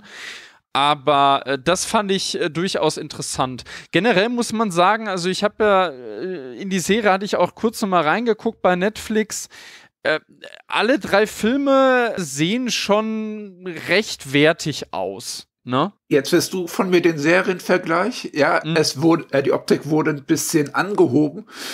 Es sieht auch von der Action her wertiger aus die Locations wirken auch noch mal ein bisschen aufpoliert, also so ein bisschen auf Kinooptik getrimmt. Mhm. Kann man schon so sagen. Also ja, da bei den Action Pieces, bei den Locations, da haben sie echt nichts falsch gemacht. Die Synchro steckt halt, oder auch die Dialoge stecken halt voller Details, ja. die man verpassen könnte, wenn man nicht genau aufpasst. Ja, ist halt ein klassischer Krimi dahingehend, ne? Ja. Obwohl es ja hier jetzt nicht einfach nur so eine Whodunit-Geschichte ist. Also äh, ein Stück weit schon, aber das geht ja schon darüber hinaus. Also äh, man muss sagen, die erzählen schon relativ komplexe Geschichten. Und ich muss auch sagen, diese Folge hat mir eigentlich noch am besten gefallen. Weil äh, die ging so relativ durch, ohne großartige Längen, fand ich. Wie, wie hast du das empfunden? Der Film hatte auch für mich so diese menschlichen Graustufen und die Abgründe, die für mich Psychopaths eben ausgemacht haben. Das war noch mit der dreckigste von den dreien. Mhm. Mir hat der auch noch mit am besten gefallen. Da hast du eben auch noch Charaktere gehabt, die mit sich gehadert hat, denen man einen gewissen Gewissenskonflikt eben anmerkt. Genau. Ja, das ist für mich auch wirklich der beste von den drei Filmen. Okay, das nehmen wir dann schon mal vorweg. Ja, ja, ansonsten kann man jetzt da gar nicht so viel zu sagen, ohne zu spoilern. Ich würde sagen, es ist grundsolide. Die Geschichte ist manchmal ein bisschen umständlicher, als sie eigentlich sein müsste, finde ich persönlich. Aber das liegt vielleicht auch an den manchmal etwas hakeligen Dialogen, wobei man jetzt sagen muss, dass die Synchro nicht schlecht ist tatsächlich. Nee. Vielleicht ist es auch wirklich, dass, dass sie das auf eine Stunde Laufzeit quasi quetschen mussten. Vielleicht wären der 20 Minuten nach hinten raus dann vielleicht eben doch besser gewesen, um das vom Inhalt so ein bisschen zu entschlacken oder organischer wirken zu lassen. Also du, du meinst, dass sie es jetzt ausdehnen mussten für eine Stunde?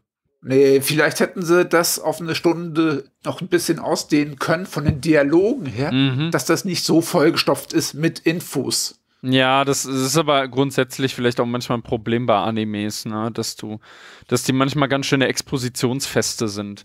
Äh, jedenfalls, ne, ja, ich, doch, ich fand solide. Ich fand die Folge auch durchweg spannend eigentlich. Die ging wirklich runter wie nichts, was man dann von den beiden anderen nicht mehr ganz so sagen kann.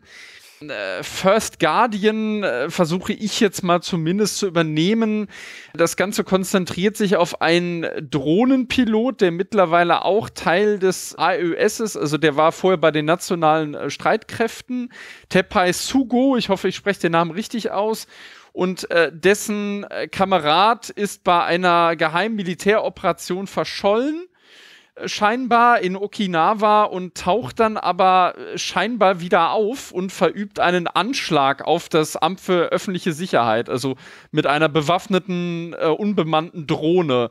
Und dann geht es eben darum herauszufinden, ob der Typ wirklich noch lebt und ja, was dahinter steckt. Beziehungsweise was auch hinter dieser Militäroperation steckt.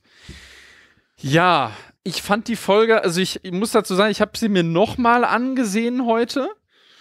Und ich finde die doch eigentlich gar nicht mal so schlecht. Das Problem ist nur für mich, fehlt es der eben so ein bisschen an Fokus, beziehungsweise hast du manchmal das Gefühl, sie weiß jetzt nicht genau, äh, auf wem jetzt der Schwerpunkt liegen soll bei den Figuren. Wie war es bei dir? Äh, den Fall musste ich mir tatsächlich auch noch mal ein zweites Mal anschauen, weil, ach ja, Ja, es, es war für mich so unfokussiert, dass ich mich sogar als Fan da schwer getan habe, Mhm. da irgendwie da groß was rauszunehmen. Also ja, Zweitsichtung war auch bei mir hier die Pflicht und danach habe ich ihn besser gefunden, aber der Fokus war irgendwie nicht wirklich vorhanden. Ja, es ist der, der Film, der macht halt zwischendurch einen Schlenker zu einer völlig anderen Figur einfach. Na, und du, du hast den Eindruck, dass die Figur dieser Tepai Sugo, um den sich alles dreht, dass der zwischendurch gar nicht mal mehr so wichtig ist. Das ist so ein bisschen das Problem. Der wird zwischenzeitlich zum Nebendarsteller dirigiert. Ja, ja, genau. Ist der, so. der ist eigentlich nur noch im Hintergrund zu sehen und wobei ich muss sagen, diesen gealterten Bullen vom iOS, den fand ich eigentlich ganz cool. Den kenne ich sogar noch aus der Serie. Das liegt daran, dass mir die Synchronstimme sehr im Kopf geblieben ist. Ich kann jetzt leider nicht sagen, wie der Sprecher heißt, aber daran habe ich es eben festgemacht. Man muss auch sagen, das war auch mein Problem so ein bisschen bei der ersten Folge, wenn man das jetzt nicht so kennt. Die weiblichen Ermittlerinnen, die sehen sich sehr ähnlich irgendwie alle. Oh ja. Die eine ist halt ein bisschen naiver, die andere ist ein bisschen hippeliger, aber es fällt einem schwer. Ja. Wenn sie nicht dauernd betonen würden, ach, ich muss jetzt hier von zu Hause aus ermitteln, Mhm. dann wüsste man das nicht. Im Prinzip könnten das auch Tick, Trick und Track sein, die beiden Mädels. Von zu Hause aus ermitteln wäre im Moment wahrscheinlich der Fall, ne? Die sitzen dann bestimmt jetzt auch im Homeoffice. Vom Homeoffice aus schicken irgendwelche Drohnen und Genau, lassen damit aufräumen. genau, genau. Ja, äh, so großartig kann man was gar nicht so über die Folge sagen. Also die, wobei ich muss sagen, die Auflösung fand ich tatsächlich überraschend. Damit habe ich nicht gerechnet. Und äh, grundsätzlich ist ja auch ganz schön, äh, wie so dieses, naja, da, da ist halt wieder so diese, diese Grauzone, ne? Also vor allem dieser gealterte Polizist, da heißt es ja an einer Stelle, der ist eben so ein guter Ermittler, weil er selbst eigentlich ein latenter Verbrecher ist. Ja, ja. Na, da sind die Grenzen wieder absolut fließend, aber Und Ja. hier haben wir auch so ein Merkmal der Serie wieder. Hier gibt's eine unschöne Stelle, die hat mit einem Auge zu tun. Fans der Serie werden direkt wissen, worauf es da in etwa hinauslaufen könnte. Da schimmert noch mal so ein bisschen dieses raue der Psychopath-Serie durch. Hattest du denn den Eindruck, dass äh, diesem älteren Ermittler zumindest hier ein bisschen Tiefe verliehen wurde gegenüber der Serie oder wie war das? ich fand den in der Serie schon recht gut ausgearbeitet. Hier war es halt nochmal wie so eine Art Ehrenrunde für ihn. Diese große Charakterisierung, die ist eher seinem jungen Partner zugekommen, wo er dann am Scheideweg steht und mehr wollen wir nicht vorwegnehmen, aber da gibt er ihm nochmal einen Ratschlag.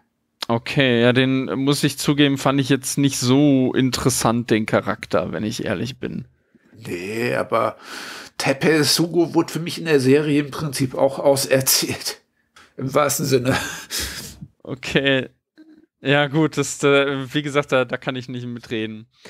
Ja, ich würde sagen, also äh, beim zweiten Mal fand ich ihn schon besser, aber das ist auch ein Film, den äh, da kann dir sehr, sehr schnell irgendwas entgehen und ich finde den Fall tatsächlich auch überkonstruiert. Ja. Wobei es interessant ist, da wird auch wieder gezeigt, ähnlich wie schon in der ersten Folge, wie krank dieses System eben ist. Ne? Und dass es eigentlich gar nicht wirklich funktioniert, dieses sogenannte Sybil System, was sich ja etabliert hat über die Psychopathes.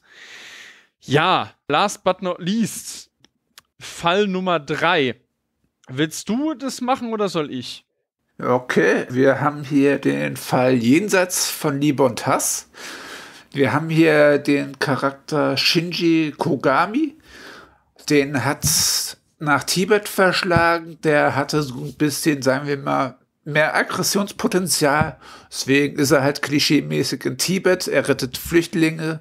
Mhm. Und auf einmal werden die von Guerillas angegriffen. Und von einem kleinen Mädchen werden eben die Eltern quasi umgebracht. Und dieses kleine Mädchen bittet ihn dann darum, ihr beizubringen, wie man sich an diesen Guerillas rächen kann. Ja, genau. Also ich musste direkt an Leon der Profi denken. oh ja. so, so ein bisschen. Total. Ja, genau. Also die Folge, die ist auch irgendwie sehr unübersichtlich von der Handlung her. Äh, zu viele Figuren finde ich auch. Und was mich so ein bisschen störte, also das ist auch ähnlich wie bei der zweiten schon. Der Plot an sich ist eigentlich sehr simpel. Er wird aber durch die viele Exposition in den Dialogen und auch teilweise durch die Handlung äh, wirkt er konstruierter, als er eigentlich sein müsste. Weiß nicht, wie du das von der Serie kennst. Die Serie wirkte auf mich da stimmiger. Die hatte die Zeit, die sie brauchte. Die war nicht ganz so überfrachtet. Mhm. In der Hinsicht, da bin ich auch teilweise drei, vier Folgen am Stück am Ball geblieben. Und ja, die haben sich da äh, leichter weggesnackt als hier teilweise die letzten beiden Fälle, die für mich auch, obwohl sie so ein bisschen überfrachtet waren, mhm. ein bisschen den Fokus verloren haben und ein bisschen auch komischerweise Längen haben, obwohl die eben nur eine Stunde gehen. Ja. Ja gut, man muss ja dazu anmerken, hattest du ja gerade schon gesagt, glaube ich, eine normale Folge Psychopaths dauert normalerweise 20 Minuten. Ich denke mal, dass es da äh, auch irgendwie Doppelfolgen gibt und sowas, ne? Oh, da gibt's Handlungsstränge, die strecken sich teilweise über fünf bis zehn Folgen. Okay, also baut dann alles aufeinander auf, okay. Locker, ja. Also ist nicht so sehr Case of the Week, wie man, wie man jetzt denken könnte es ist nicht so sehr Case of the Week, wie es in den ersten zwei, drei Folgen wirkt. Da baut sich noch ein größer Handlungsstrang im Hintergrund auf, der dich dann auf einmal packt und dann motiviert, die beiden Staffeln, die vorhanden sind, dann durchzuschauen. Also da bleibt man dann eher auch am Ball. Da ist es wirklich, da gibt es ein paar teilweise richtig radikale, blutige Sachen, die gehen an die psychische und an die physische Gewalt. Mhm. Also es geht richtig ans Eingemachte da teilweise. FSK 16 oder 18 ist da gerechtfertigt in der Serie. Hier wird es so ein bisschen, auch wenn da immer wieder so kleinere Gewaltspitzen waren, mhm. wie so eine Light-Version. Ja, gut. Also ich kann da jetzt wirklich nicht so viel zu sagen. Ich muss sagen, dieser Fall hatte echt Längen. Ich, ich weiß auch gar nicht, woran das liegt irgendwie. Es ist vielleicht wieder, obwohl der Fokus stimmt hier schon mehr. Ne? Also wir haben die, die Figur, diesen, ach, wie heißt der denn jetzt nochmal?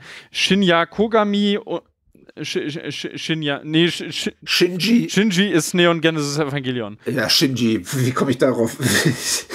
Äh, Shinya Kogami. Genau. Und ja. der, ja, ist ja durchaus auch umstritten, heißt es irgendwie auch. Und da heißt es an einer Stelle über ihn, dass er auch schon mal irgendwie aus Rache äh, irgendwie einen, einen, Fall gelöst hat oder auf jeden Fall einen Racheakt verübt hat. Und das spiegelt sich dann auch so gesehen in diesem Kind, was unbedingt Rache will, aber für mich dann, äh, ja, ich weiß nicht. Also die Beziehung zwischen den beiden war noch ganz nett. Wobei ich es auch ein bisschen seltsam fand, wie er ihr mal so eben Japanisch beibringt. Weil das, das Ganze ist ja, ja genau, es ist in Tibet, ist es, glaube ich, irgendwie im Himalaya ist es eigentlich, ne? Genau. Yeah. Also ziemlich abgelegen auch wieder. Aber äh, da ist dann auch noch irgendwie dieser Konflikt mit den Guerillas und äh, Flüchtlingen und so weiter. Und irgendwie ist das, das ist so bemerkenswert. Diese Folge wirkt überladen, aber gleichzeitig wirkt der Plot auch sehr, äh, sehr dürftig. Das ist ganz, ganz komisch war für mich tatsächlich auch die schwächste Folge, muss ich gestehen. Leider ja. Die habe ich mir auch nicht nochmal angesehen, weil die wirklich Längen hatte. Was jetzt nicht heißt, dass sie jetzt total schlecht ist, aber die fiel dann doch ein bisschen ab und du hast ja dann nochmal den, den Blick da drauf, aber du meintest ja gerade auch schon, dass die deutlich schwächer ist nochmal. Ne? Mhm. Du hast ja gesagt, dass er innerlich zerrissen ist diese weiße Person, mit der er ab und zu redet in seinen Tagträumen, whatever, das war quasi der Gegner aus Staffel 1. Die haben sich so ein bisschen ergänzt wie Ying und Yang, ah, okay. wenn du es so willst. Also das hat eben auch seinen inneren Dämon wieder gespiegelt. Da hätten sie auch aus dem Konflikt mehr machen können. Dafür, dass er da so innerlich zerrissen ist, ja. war der mit am gefasstesten von all diesen Charakteren ich fand auch hier war dieser technische Aspekt, der war ziemlich gering. Das hätte jetzt nicht mal unbedingt mehr Psychopath sein müssen. So ja. viele Aufnahmen, wie man von Tibet dann noch gesehen hat. Ja, das sollte vielleicht auch hervorheben, dass das so weit ab ist. Ne? Ich dass da wirklich, das ist noch vielleicht ein bisschen traditioneller geprägt, dieses Gebiet oder diese Umgebung. Also da kann ich jetzt nicht so viel zu sagen, wie gesagt. Ich, ich werde mal in die, die Serie werde ich auf jeden Fall gucken. Ich habe jetzt auch nicht Zeit dafür. Und ja, Ansonsten, ich, ich würde sagen, Patrick, wenn du nichts mehr hast, dann kommen wir, glaube ich, zu einem Fazit. Äh, eine Sache hatten wir vergessen ja. bei Case 2, da fand ich so diese Drohnenaufnahmen, die haben sie noch cool animiert. Mhm. Könnte man noch als Ergänzung sagen, da haben sie wieder schön die technischen Aspekte ausgereizt, aber ja, jetzt können wir zum Fazit kommen. Ja, was ich da dann noch zu ergänzen kann zu den Drohnen, also das Ganze ist natürlich schon, ja, klassisch 2D animiert ist es nicht mehr in dem Sinne, also es ist natürlich noch 2D, aber wir haben schon sehr viele dreidimensionale Objekte, also alle Fahrzeuge dürften aus dem Rechner kommen. Na, das ist so ein, so ein Mischmasch und es sieht aber optisch trotzdem ganz schön aus, vor allem die Lichteffekte haben mir gut gefallen. Ja, dann würde ich sagen, das Fazit und da du äh, von uns beiden eher der Fanboy bist, würde ich sagen, fängst du an. Ich fand die drei Fälle ganz gut. Komischerweise haben die für mich von Fall zu Fall mehr und mehr abgebaut. Mhm. Ich weiß jetzt nicht, ob man sich die drei Stunden am Stück geben sollte. Man hat ja dann, wenn man sich diesen Pass kauft, 48 Stunden Zeit, dann würde ich mir das über den Tag schön verteilen, dass einem da diese Längen nicht so auffallen. Mhm. Für Einsteiger weiß ich nicht, ob das so gelungen ist. Dafür sind die Fälle dann vielleicht ein wenig zu überfrachtet. Jetzt nicht vom Storytelling her, sondern von der Erzählweise. Aber Fans von Psychopaths können da gern mal einen Blick riskieren. Und Leuten, die da mit zufälligen Berührungen gekommen sind und jetzt denken, ja, es war ganz nett, die sollen sich die Serie ansehen, da hat man dann noch mal eine Schippe mehr Spaß. Insgesamt vom Gesamtpaket würde ich den allen drei Fällen zusammen drei von fünf Drohnen geben. Okay. Ja, da bin ich dann auch ganz bei dir, muss ich sagen. Also, ich fand es ganz nett, den ersten Fall fand ich gar nicht schlecht. Ich fand auch so diese übergeordneten Ansätze, also was das über dieses System aussagt, was es über diese Gesellschaft aussagt, dass es nicht funktioniert, dass es Korruption gibt, das hat mir noch ganz gut gefallen. Was für mich dann weniger so funktioniert hat, war eben so das Story-Geflecht, wo man das implementiert hat. Aber ansonsten von abraten würde ich jetzt auch nicht ich glaube sogar, dass es für die Leute eher ein Trumpf sein könnte, sich das jetzt irgendwie gemütlich zu Hause im Stream anzusehen, statt drei Stunden im Kino, weil das wäre, glaube ich, echt anstrengend. Ne?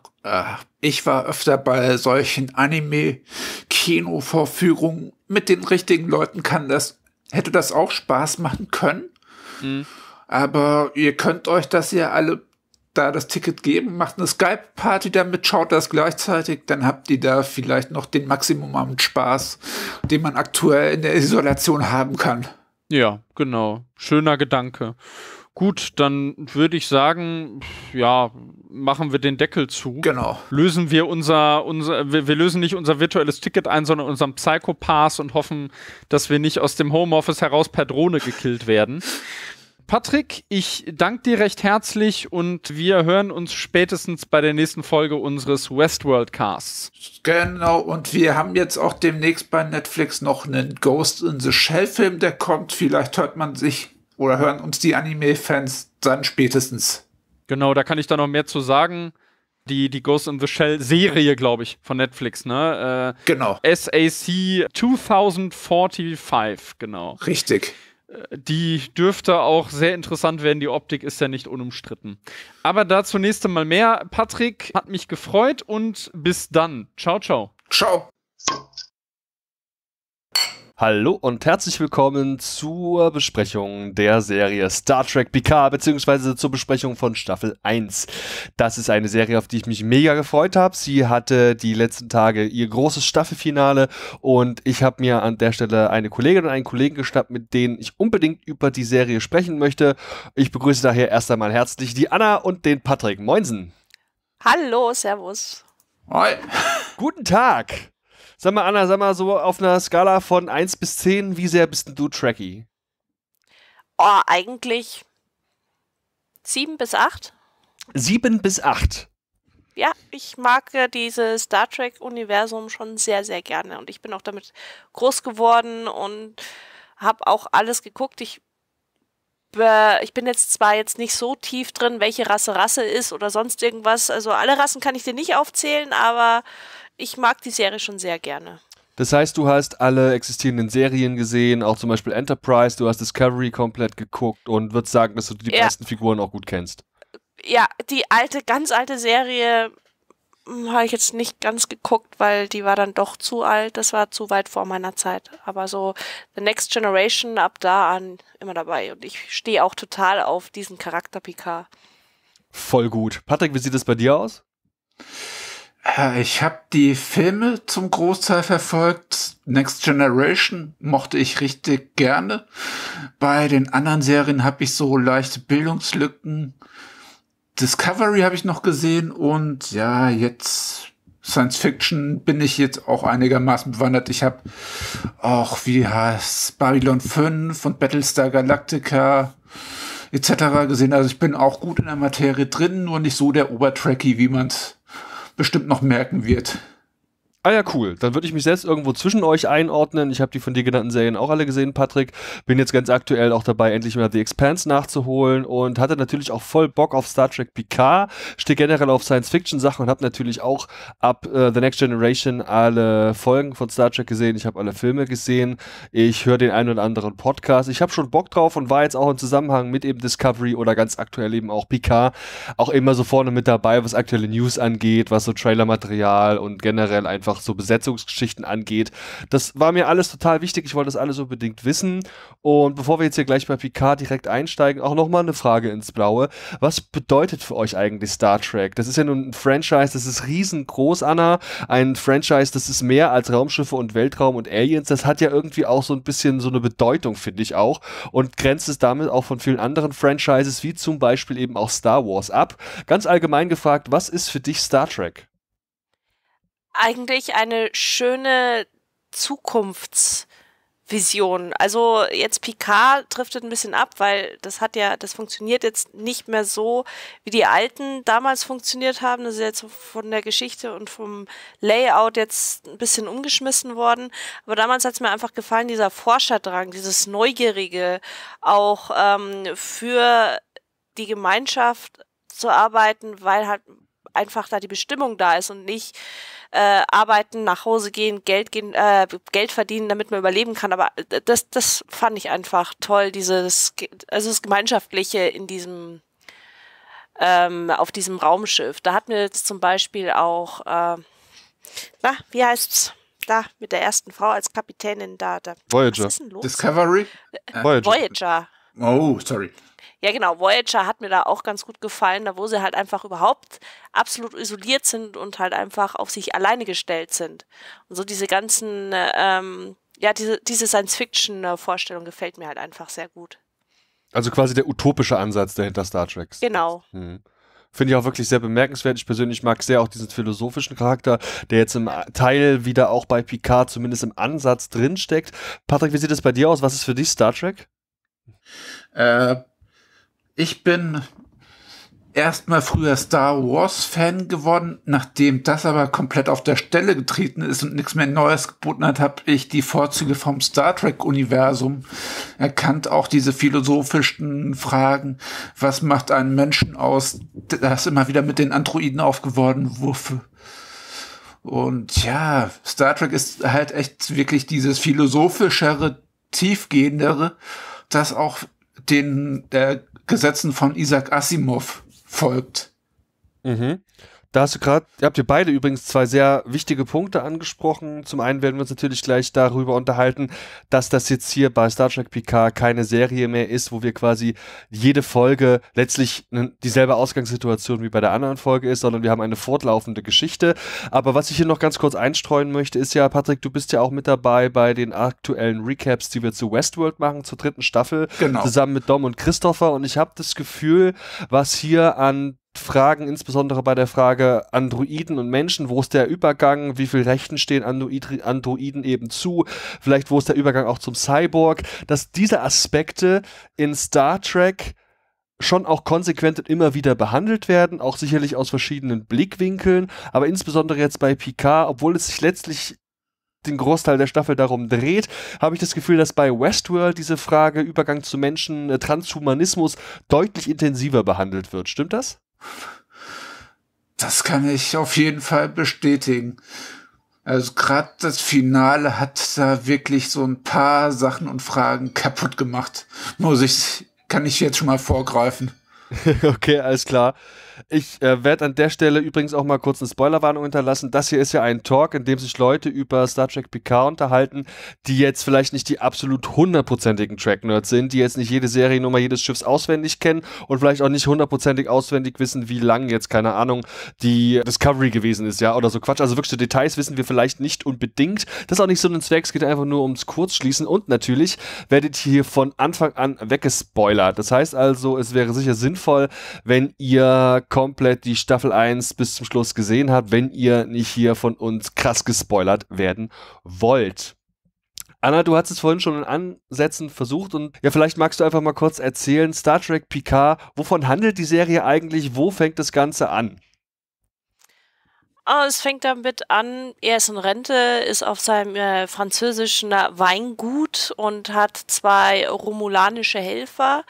Ähm, ich kann mich nicht erinnern, aber ich glaube, das ist jetzt dazwischen dazugekommen, dass er eine romulanische Rettungsaktion gemacht hat ähm, und halt viele Romulaner vor dem Sterben gerettet hat. Und ähm, ja, dann hat er halt noch eine künstliche Intelligenz gefunden, die aber gar nicht wusste, dass sie künstliche Intelligenz war, ist auch, ähm, die ist auch sofort dann gestorben ähm, äh, als sie es halt herausgefunden hat und dann versucht sie halt die Zwillingsschwester von dieser künstlichen Intelligenz zu finden und man findet halt dann heraus, dass die DNA von Data in diesem Mädchen drin ist und sie realisiert halt dann, oh, ich bin ja ein Roboter und äh, wusste das davor gar nicht.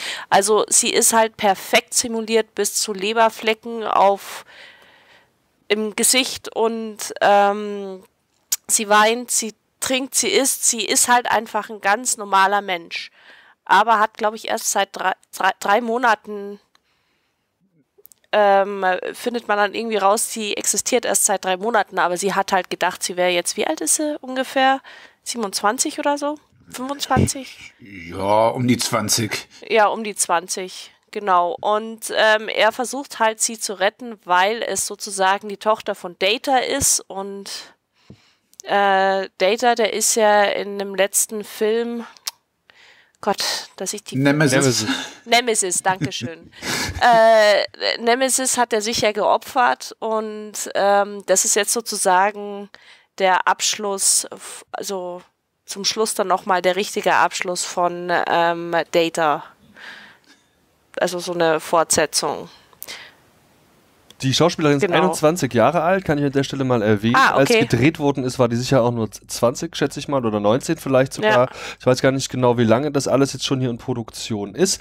Wir, ich weiß nicht, ich habe jetzt kein Konzept oder so vorbereitet. Ich will eigentlich nur mal meine Gedankengänge so zu Star Trek Picard formulieren, Ja. was uns sicher allen irgendwie im Kopf rumschwirrt. Und wenn ich was mitgekriegt habe, dann, dass die Serie natürlich ganz durchwachsen aufgenommen worden ist. Und das auch nach der, glaube ich, Ausstrahlung der dritten Folge rapide die Einschaltquoten auf Prime Video, wo uns das Ganze hier in Deutschland präsentiert wird, zurückgegangen sind. Und das, obwohl jetzt gerade in Zeiten der Quarantäne, ich habe wirklich vor einer Stunde oder so erst so eine Übersicht gesehen, was die erfolgreichsten Streaming-Serien auf den großen Plattformen ist. Und da ist in Deutschland Star Trek Picard auf Platz 2, was mich dann schon wieder irgendwie auch positiv überrascht hat.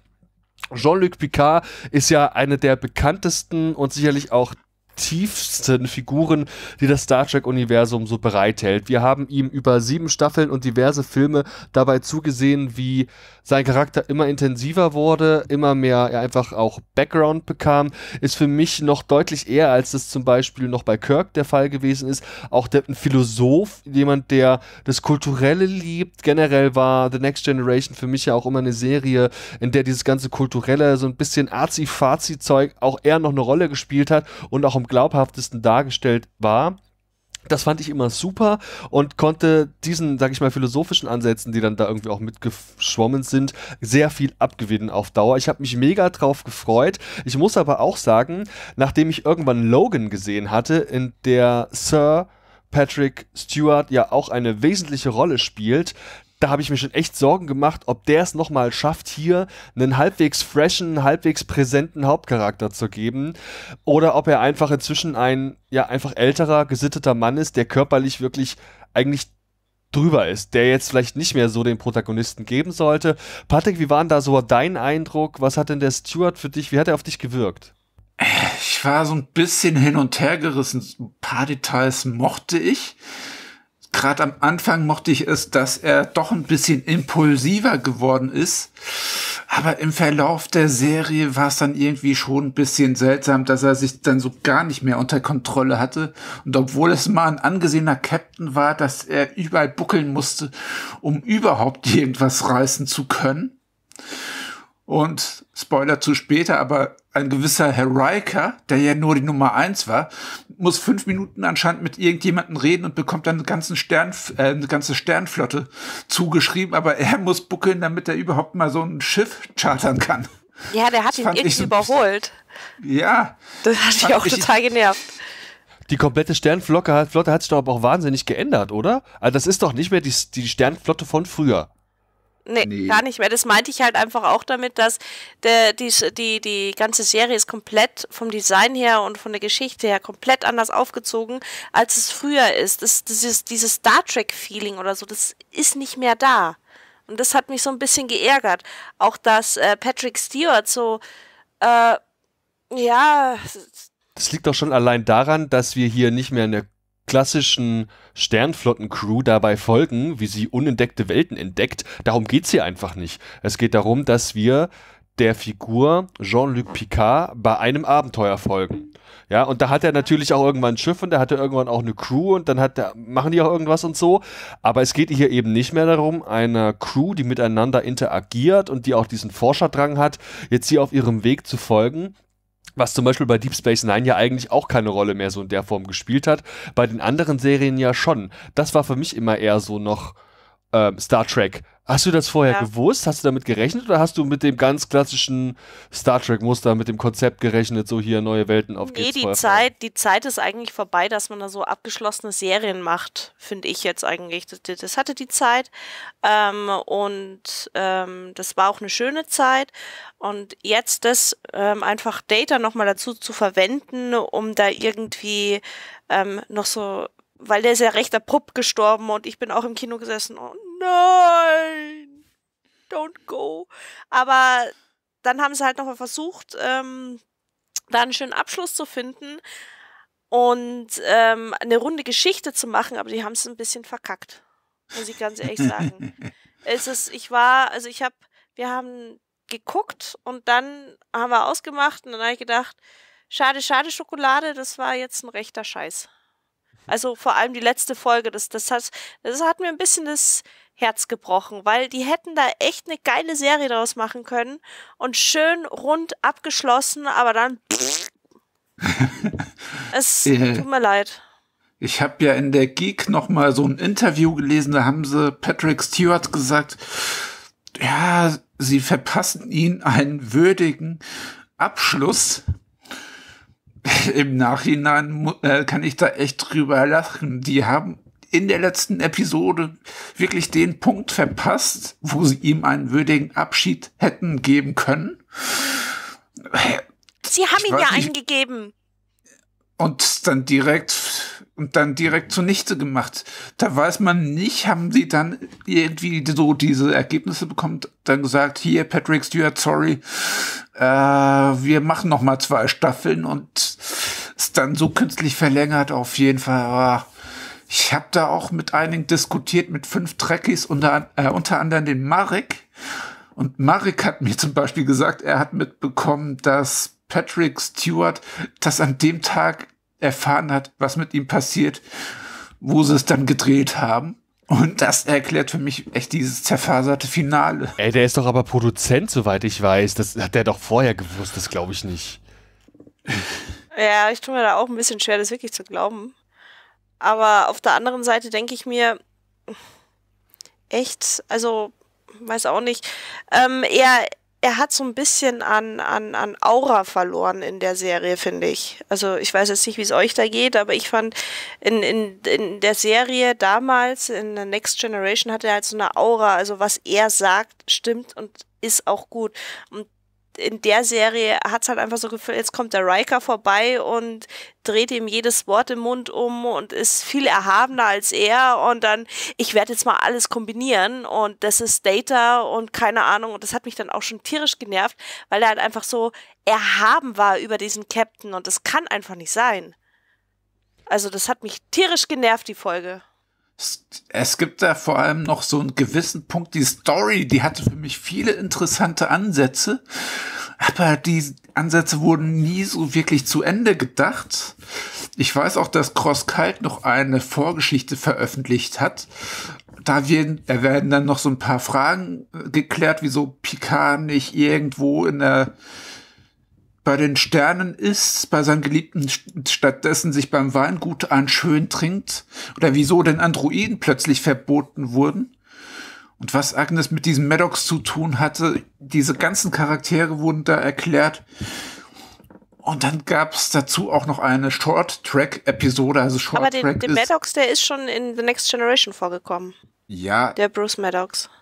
aber was der mit dieser Agnes zu tun hatte und so, das wurde dann Ja, die ist ja Genau, auch zu jung. Das auch. ja, und dann gab es noch so eine Miniserie äh, Star Trek Short Track. Da gab es so Kurzfilme, die spielen im Star Trek-Universum und einer dieser Kurzfilme hätte auch noch so eine Vorgeschichte zu den Picard erzählt. Da wäre es um den Aufstand der Androiden gegangen. Und auch das hat, haben wir in Deutschland nicht zu sehen bekommen. Dadurch fehlt uns noch mehr so ein bisschen das Fleisch. Und ach, das finde ich schade, dass man als Star Trek-Fan dann auch noch sich da irgendwie Lektüre und sonst was zurechtlesen muss, um das besser zu finden. Finde ich schade. So wirkt es halt auf mich wirklich so unausgegoren, so ein bisschen wie Episode 9. Man ist von einem Plotpoint zum nächsten gehetzt. Nichts wirklich zu Ende gedacht, aber Hauptsache, man hat irgendwelche Punkte, die man abhetzen kann. Genau. Unter anderem auch diesen Casino-Planeten, wo Picard dann im Fido, äh, nicht im Fedora-Hut, aber mit so einem komischen französischen Akzent dann auch nochmal overacten darf. Ach, das war aber echt armselig. Entschuldigung, aber das Ja. war halt dann einfach so, oh, ich glaube, so ein Casino-Planet war auch in Star Wars und es ist mega gut angekommen. Lass uns das doch mal in Star Trek einbauen. Das Äh, meine das ich ja, das Episode, das ist das Episode 9 Problem. Man ist von einem Punkt zum nächsten gehetzt, ohne das wirklich auszuerzählen. ja. Aber man muss da einfach, glaube ich, eine Menge Sachen auch berücksichtigen. Also zunächst erst einmal ist das jetzt hier ein ganz neues Serienkonzept und man setzt sich einfach auf ein altes Franchise quasi drauf. Jetzt haben die alten Serien und die ja teilweise sieben Staffeln hatten im Regelfall, soweit ich weiß. Die hatten im Regelfall paar 20 Episoden pro Staffel. Da kannst du mega viel Zeug erzählen und da kommt es auch jetzt nicht drauf an, ob irgendeine Figur in irgendeiner Ausgabe erscheint oder nicht, sondern eben erst in der nächsten.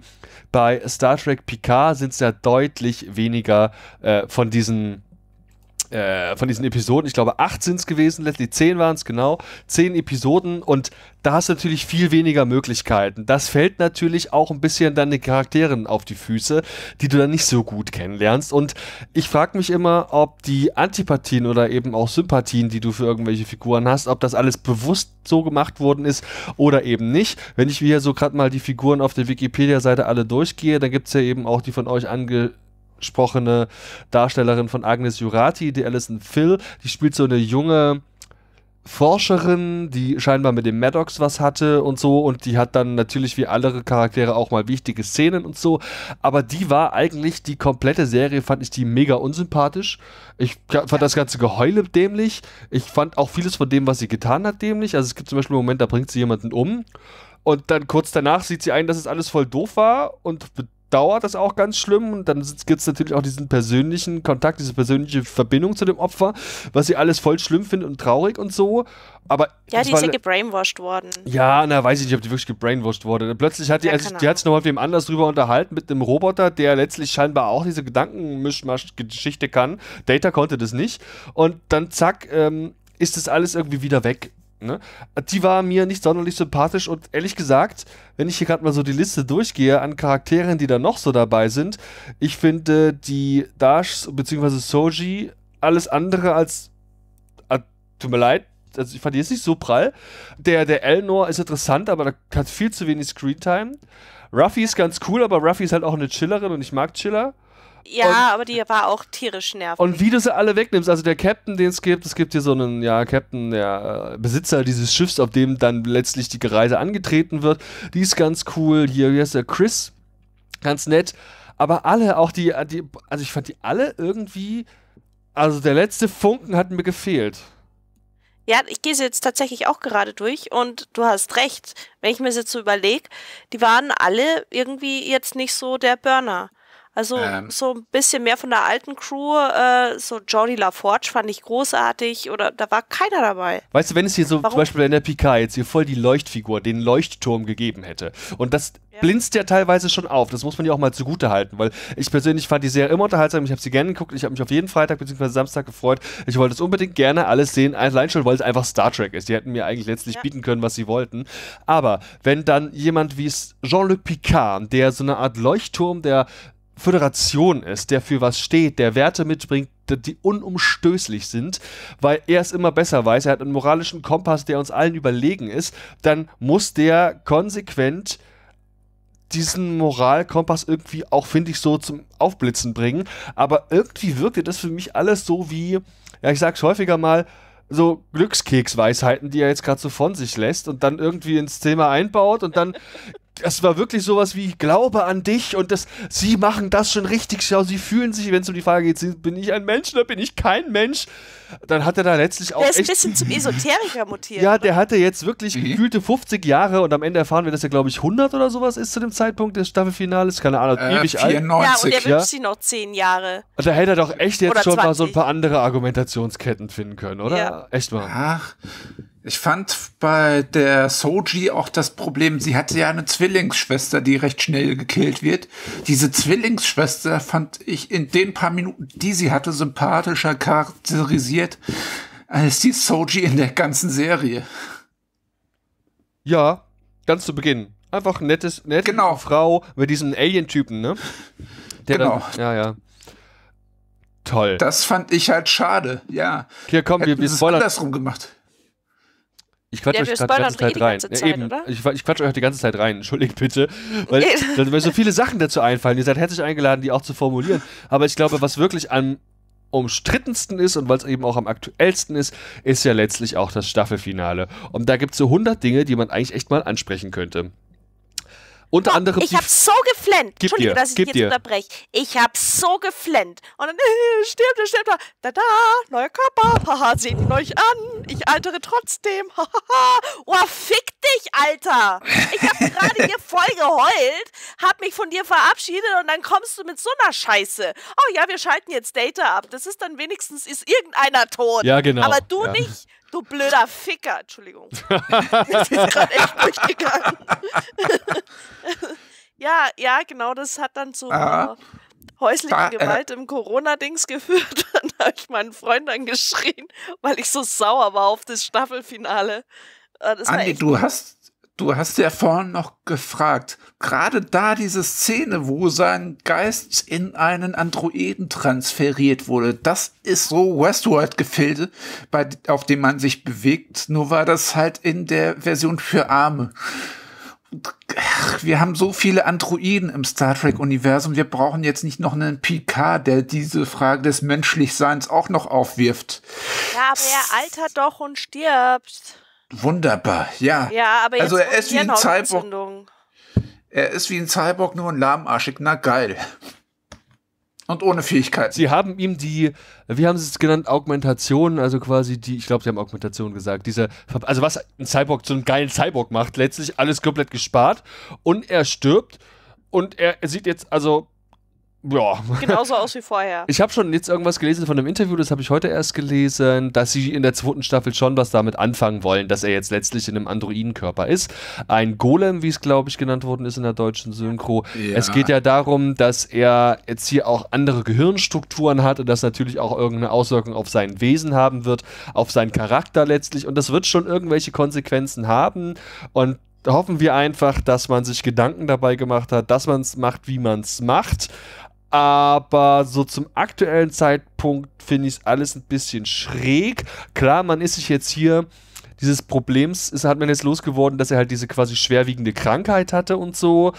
Ob da jetzt die Alternativlösung, ihm einfach von dieser Krankheit zu heilen, besser gewesen wäre, weiß ich nicht. Ja, die ist ja unheilbar. Ja, ist ja halt unheilbar, super, okay. Aber hätte man ihn geklont in einen neuen Körper rein, whatever. Letztlich ist das hier auch eine Möglichkeit, wo man sagen kann, okay, der quasi Geist Picards, der scheinbar in irgendeiner Form als Daten repliziert worden ist, ja, wie man das vom, offenbar auch mit Data gemacht hat, da vermutlich mal, das ist jetzt auch eine super Option einfach, falls der Schauspieler selbst nicht mehr kann, also wenn der Patrick Stewart halt nicht mehr kann, letztlich diesen Geist in einen anderen Androiden zu überführen. Ach so, das, ist wär eine Fallback-Version, falls der Schauspieler stirbt. Weiß ich nicht, aber es wäre Genau. natürlich Das eine ist super Option halt einfach. Ne? Du kannst ab sofort irgendwelche Szenen drehen für Notfälle in dieser Form und diesen Geist Aber die in den Serie neuen gibt's Körper doch packen. schon. Alter heißt Carbon. Alternate Carbone. Alter Was genau. soll die Scheiße? Das Ja, ist so eine danke. Idee, die ich dazu habe, ja. Ja, ich, ich, ich weiß genau und äh, tut mir leid, dass ich jetzt gerade drauf rumhack, aber ja, also das mit Data, da frage ich mich, warum haben sie den nicht wieder in einen Golem reingetan? Und ich frage mich auch, warum das Golem heißt. Kann ich da jetzt meine Wünsche auf einen Zettel schreiben und ihm in den Mund stecken und der tut's dann? Ich weiß es nicht. Was ist ein Golem eigentlich so? Na, Golem ist eine Figur aus dem äh, Jüdischen und Ja, ist letztlich genau, ja, wie du es das jetzt ist beschrieben genau hast, das, ja. was die sagt. Ja, das ist. Verstehe ich nicht ganz, warum das als Golem Und übersetzt Ja, Ich kann dir sagen, Golem warum Data nicht mehr dabei ist. Brent Spiner hatte keinen Bock mehr. Der hat nochmal betont, dass er definitiv nie wieder die Figur des Data spielen wird. Das war ja schon so, er- dass er überhaupt um hier mitzuspielen, musste er schon wahnsinnig überredet werden. Er ist wohl auch privat befreundet mit Patrick Stewart und dass er überhaupt hier mitspielt, das war wohl auch so ein, so ein naja, weil er halt so quasi der, der Stewart gebettelt hat letztlich. Aber wenn wir ehrlich sind, die Auftritte von Brent Spiner hier als Data, also gerade die allererste Szene in der ersten Folge, also ehrlich, das, das, das war nix. Das war halt ein aufgedunsener Schauspieler, der den Data gibt. Das war nix. Ja. Das stimmt. Aber schön mit dem äh, CGI sind sie nochmal drüber um Handball. Aber dann natürlich noch mal so eine Nunjensung abkommen, ins Boot holen, wodurch diese ganze Soji Dash Erklärung keinen Sinn mehr ergibt, dass sie Datas Erbe ist, wenn da noch ein Nunjensung rumbrennt, ist eben das der Data-Erbe. Hm, stimmt, den könnte es noch geben. Interessant.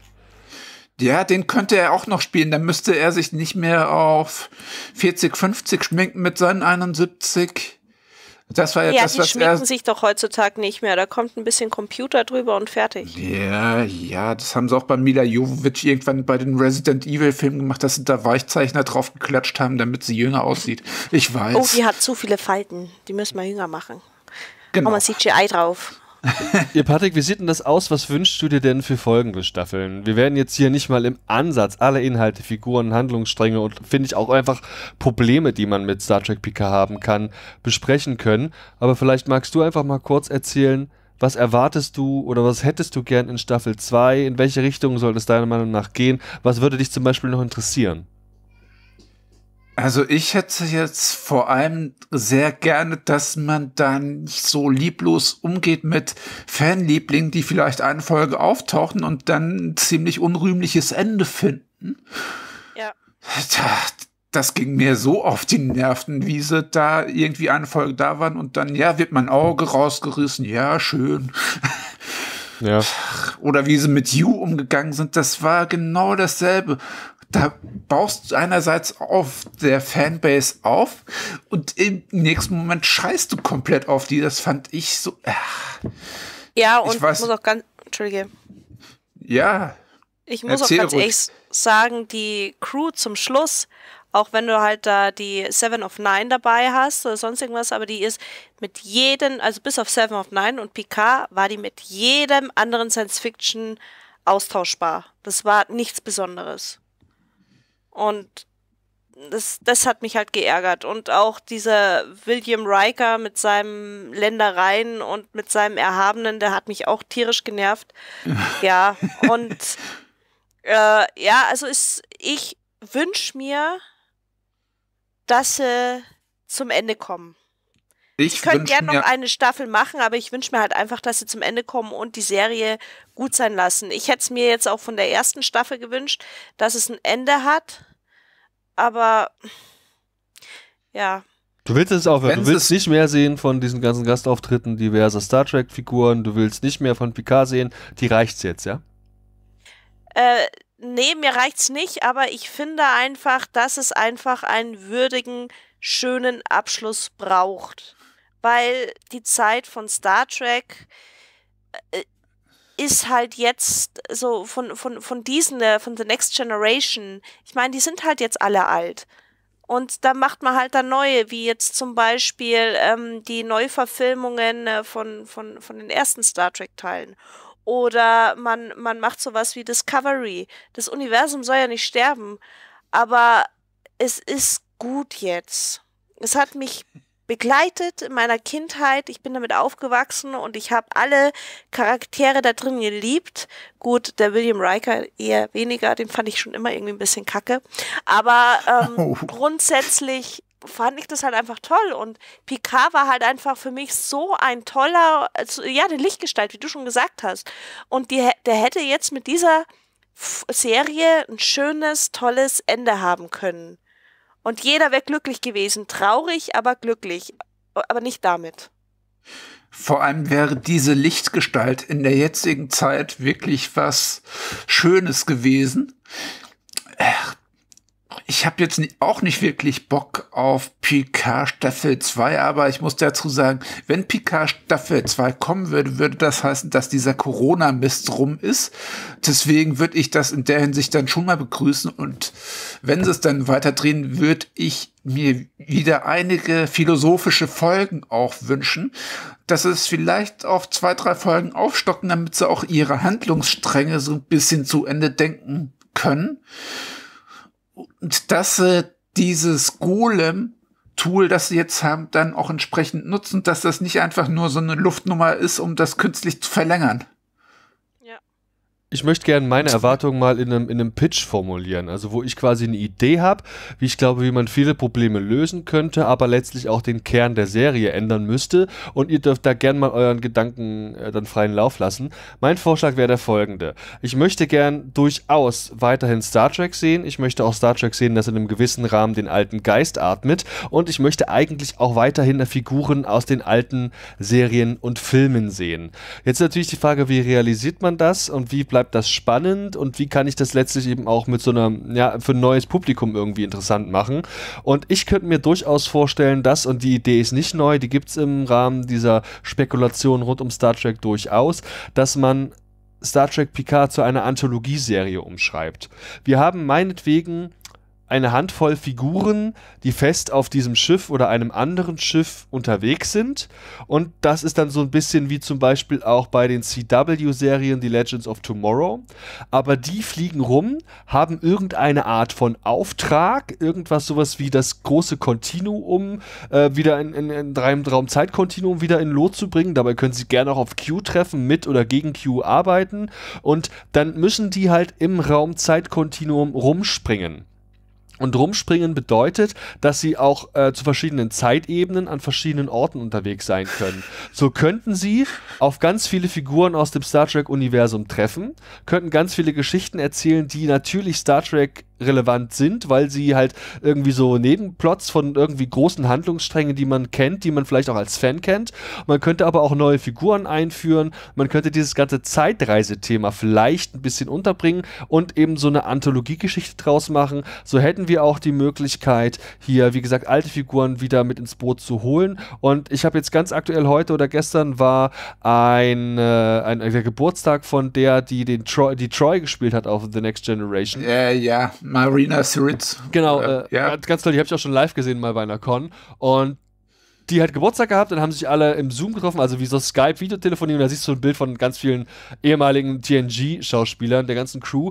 Und meinetwegen sollen die alle mal irgendwann ihren Auftritt haben. Und das könnte man mit so einer Anthologieserie, glaube ich, relativ ungezwungen machen und müsste dann natürlich auch aufpassen, dass es nicht so wirkt wie jetzt zum Beispiel bei Seven of Nine. Ich persönlich freue mich ja, dass wir Seven gesehen haben. Das war ja irgendwann die mit Abstand beliebteste Figur aus Voyager. Die hat ja recht schnell auch die Janeway überholt. Das ist ganz spannend. Die haben sich wohl auch im Set zeitweise relativ gestritten, obwohl sie in der Serie dann ja quasi Best Friends waren, so ein bisschen wie Mutter und Tochter, waren sie hinter den Kulissen, glaube ich, alles andere als dicke. Und das hat für mich jetzt hier nicht so richtig funktioniert, weil mir nicht so ganz klar gewesen ist, okay, was verbinden jetzt eigentlich Seven und Picard? Woher kennen die sich eigentlich? Haben die mehr miteinander gemeinsam, au außer dass die jetzt hier äh, Ex-Borg sind? Also das war mir jetzt nicht so ganz so klar. Die haben man einfach nur reingeschrieben, weil das halt die bekannteste und eine der bekanntesten und beliebtesten noch lebenden Figuren ist und die Schauspielerin wahrscheinlich aktuell auch nicht so viel zu tun hat. Und wie gesagt, ich finde diesen Anthologie Gedanken ganz toll und möchte damit auch abschließen. Ich würde mir, egal was kommt, auf jeden Fall eine zweite Staffel angucken und würde mich jetzt mal freuen, von euch zu hören. Was haltet ihr denn von der Idee mit der Anthologie? Uh, weiß nicht, ob das gut wird. Das ist mir, glaube ich, zu viel Flickenteppich. Vor allem du sagst, du willst was Sinnigeres, haben, kommst dann aber mit Legends of Tomorrow. Ja, jetzt sozusagen mal vom Konzept. Und außerdem, das, äh, die, das mit diesen Zeitreisen, das gibt es ja auch schon in Discovery. Also ja. da, nur ganz kurz, ich muss ganz ehrlich sagen, Discovery, die erste Staffel fand ich großartig. Er hat mich auch richtig mitgerissen und die zweite Staffel hat sich kaputt geplottet. Und das, äh, ja, aber das war jetzt so von Discovery und ja, ja, wie gesagt, ich wünsche mir ein würdiges Ende. Und keine Zeitreisen, da wo dann noch andere wieder Charaktere da, ähm, ich weiß nicht, ob das gut ist. Zwischendrin kommt dann noch Whoopi Goldberg oder keine Ahnung. Die soll auch wieder kommen. Die, die wurde für Staffel 2 ja, angekündigt. Die wird kommen. Ah. Gaiden ist wieder am Start, ja. Na gut, aber zum Beispiel kannst du Figuren einfach neu besetzen. Bei Spock hat es ja auch mehr oder weniger funktioniert und vermutlich bekommt diese. Ja, aber das waren ja dann wieder so Paralleluniversen. Nee, nee, ich rede nicht von den das Filmen, ja ich rede von äh, der Discovery. Wo die auf Ach so, die ja. Kirk-Zeit treffen. Da hat es ja auch funktioniert. Und die sollen ja vermutlich auch jetzt ihre eigene Serie bekommen. Okay. Okay, ja. Ja, yeah. ich, äh, ja. ja, ich bin da ein bisschen zwiegespalten. Ich weiß nicht, ob ich das toll finde. Und ich komme da schon wieder zu dem Punkt, leider ist The Orville aktuell die bessere Next oder auch Star Trek Serie ja, das als die Star Trek Serie von den Star Trek Machern. Hm. Also Orwell fängt so den Next Generation Geist ein mit so ein bisschen gedämpften Seth MacFarlane Humor, aber wenn ein Fanboy das eher rafft als die Macher selber, bin ich auch so ein bisschen zwiegespalten. Ich würde es echt mal wieder so ein bisschen mehr Back to the Roots haben. Vielleicht auch so im Battlestar Galactica Design. So ein bisschen so in der Hinsicht, dass man es vielleicht eine Spur kleiner macht, so ein paar kleinere Schlachten, wenn sie da mit dem Androiden wieder kommen müssen. Ich fand auch, äh, die haben in Hinsicht der Bösewicht, da haben sie so viele verpasste Chancen gehabt. Stattdessen haben wir da mal wieder so ein Inzest-Geschwisterpärchen, das ja seit Game, of, äh, Game of Thrones quasi Mode ist, dass da mindestens ein Inzestpaar sein muss. Und die Borg, die wurden zu ja, Nebendarstellern so degradiert. Da war auch nicht, sehe ich auch nicht, also ich denke nicht, ich habe das nicht war gesehen. Jetzt, das, das, war halt einfach nur so ein bisschen äh, Bitchfight unter Geschwistern, aber das fand ich jetzt nicht so inzestiös. Ja, aber die haben so ein großes Star Trek-Universum, die sollten es halt nicht so verkleinern, die können es auch gern mal wieder erweitern oder ähm, dass man diese alten Charaktere vielleicht so ein bisschen als gravierende Nebencharaktere macht, da fällt auch zum Beispiel das Alter von Jean-Luc Picard nicht mehr so gravierend auf. Ja, geil. Jetzt sind wir bei fucking 40 Minuten. yeah. Und wir haben irgendwie ganz wirr, glaube ich, ganz viele Sachen gesagt und haben jetzt ja nicht so das größte Konzept an den Start gebracht. Vielleicht ja, könnt ihr jeweils so einfach nochmal so finale Fazitworte sagen. Final in wenigen Worten. Wie gefiel euch Star Trek Picard Staffel 1? Anna, feuerfrei hat stark angefangen und dann hart nachgelassen. Oh, okay. Äh, wollt ihr noch äh, Sterne haben? Oh, gib ihm, komm, wir machen Sterne. Warum nicht? Wir sind hier in der. K äh hat mit vier Sternen angefangen und hat mit zweieinhalb aufgehört. Oh. Ja. Äh, ich habe da mit Andi regelmäßig diskutiert und auch mit Marek. Also bei mir war es ein Wechselbad der Gefühle. Am Anfang mochte ich es. Dann ist es irgendwie so versumpft. Dann kam kurzzeitig mit der Riker-Folge wieder das Interesse. Und dann hat mich das Finale auch komplett enttäuscht. Ich bin da auch bei, ja, ich schwanke zwischen 2,5 und 3 Punkten. Ich denke, ich gebe dem Ganzen 2,5 von 5 Sterne. Okidoki, was die Punkte angeht, würde ich mich quasi anschließen. Ich komme eher bei drei Punkten raus, weil Starship für mich immer noch so einen leichten Bonus genießt. Ich persönlich mag es einfach, wenn Dinge im Weltraum rumfliegen und da irgendwas passiert. Aber ich muss sagen, dass ich das aktuell bei The Expanse auch bekomme. Da habe ich auf jeden Fall auch eine gute Portion Science Fiction und wenn ich mir Altered Carbon angucke, wo ich persönlich auch die zweite Staffel gar nicht schlecht fand, dann gibt es wirklich viel Konkurrenz gerade, der sich Star Trek stellen muss. Eine Konkurrenz, die es vielleicht in den 90ern, Anfang der 2000er in der Form und Größe vielleicht nicht hatte. Ich persönlich fand Battlestar Galactica und Babylon 5 auch großartig, aber letztlich war Star Trek da schon so ein bisschen unantastbar. Und Star Trek Picard hat jetzt hier einfach eine ganze Menge Konkurrenz. Generell das Star Trek-Universum eine Menge Konkurrenz. Gibt da, wie gesagt, drei von fünf Punkten. Wird mir eine zweite Staffel noch geben. Wird, würde mir alles angucken, was da kommt. Letztlich egal, was kommt. Ja, natürlich. Aber muss auch sagen, also, ich bin jetzt nicht begeistert. Ich mag eigentlich keine Figur wirklich richtig gern. Vielleicht noch den Captain am ehesten, weil der überhaupt noch am abwechslungsreichsten gestaltet ist. Alle anderen Figuren könnten sie von mir aus einfach auch austauschen. Ich würde sie nicht vermissen. Und leider aber sicher trifft es auch auf Jean-Luc zu, der jetzt hier nochmal mit seiner quasi Wiedergeburt gerne auch nochmal ein Soft-Reboot bekommen darf, damit er halt für mich langfristig interessant bleibt. Gibt da, wie gesagt, drei von fünf Punkten. Ja. Das größte Problem war für mich wirklich, dass diese Logik sich mehrmals so widersprochen hat, gerade als Star Trek-Fan.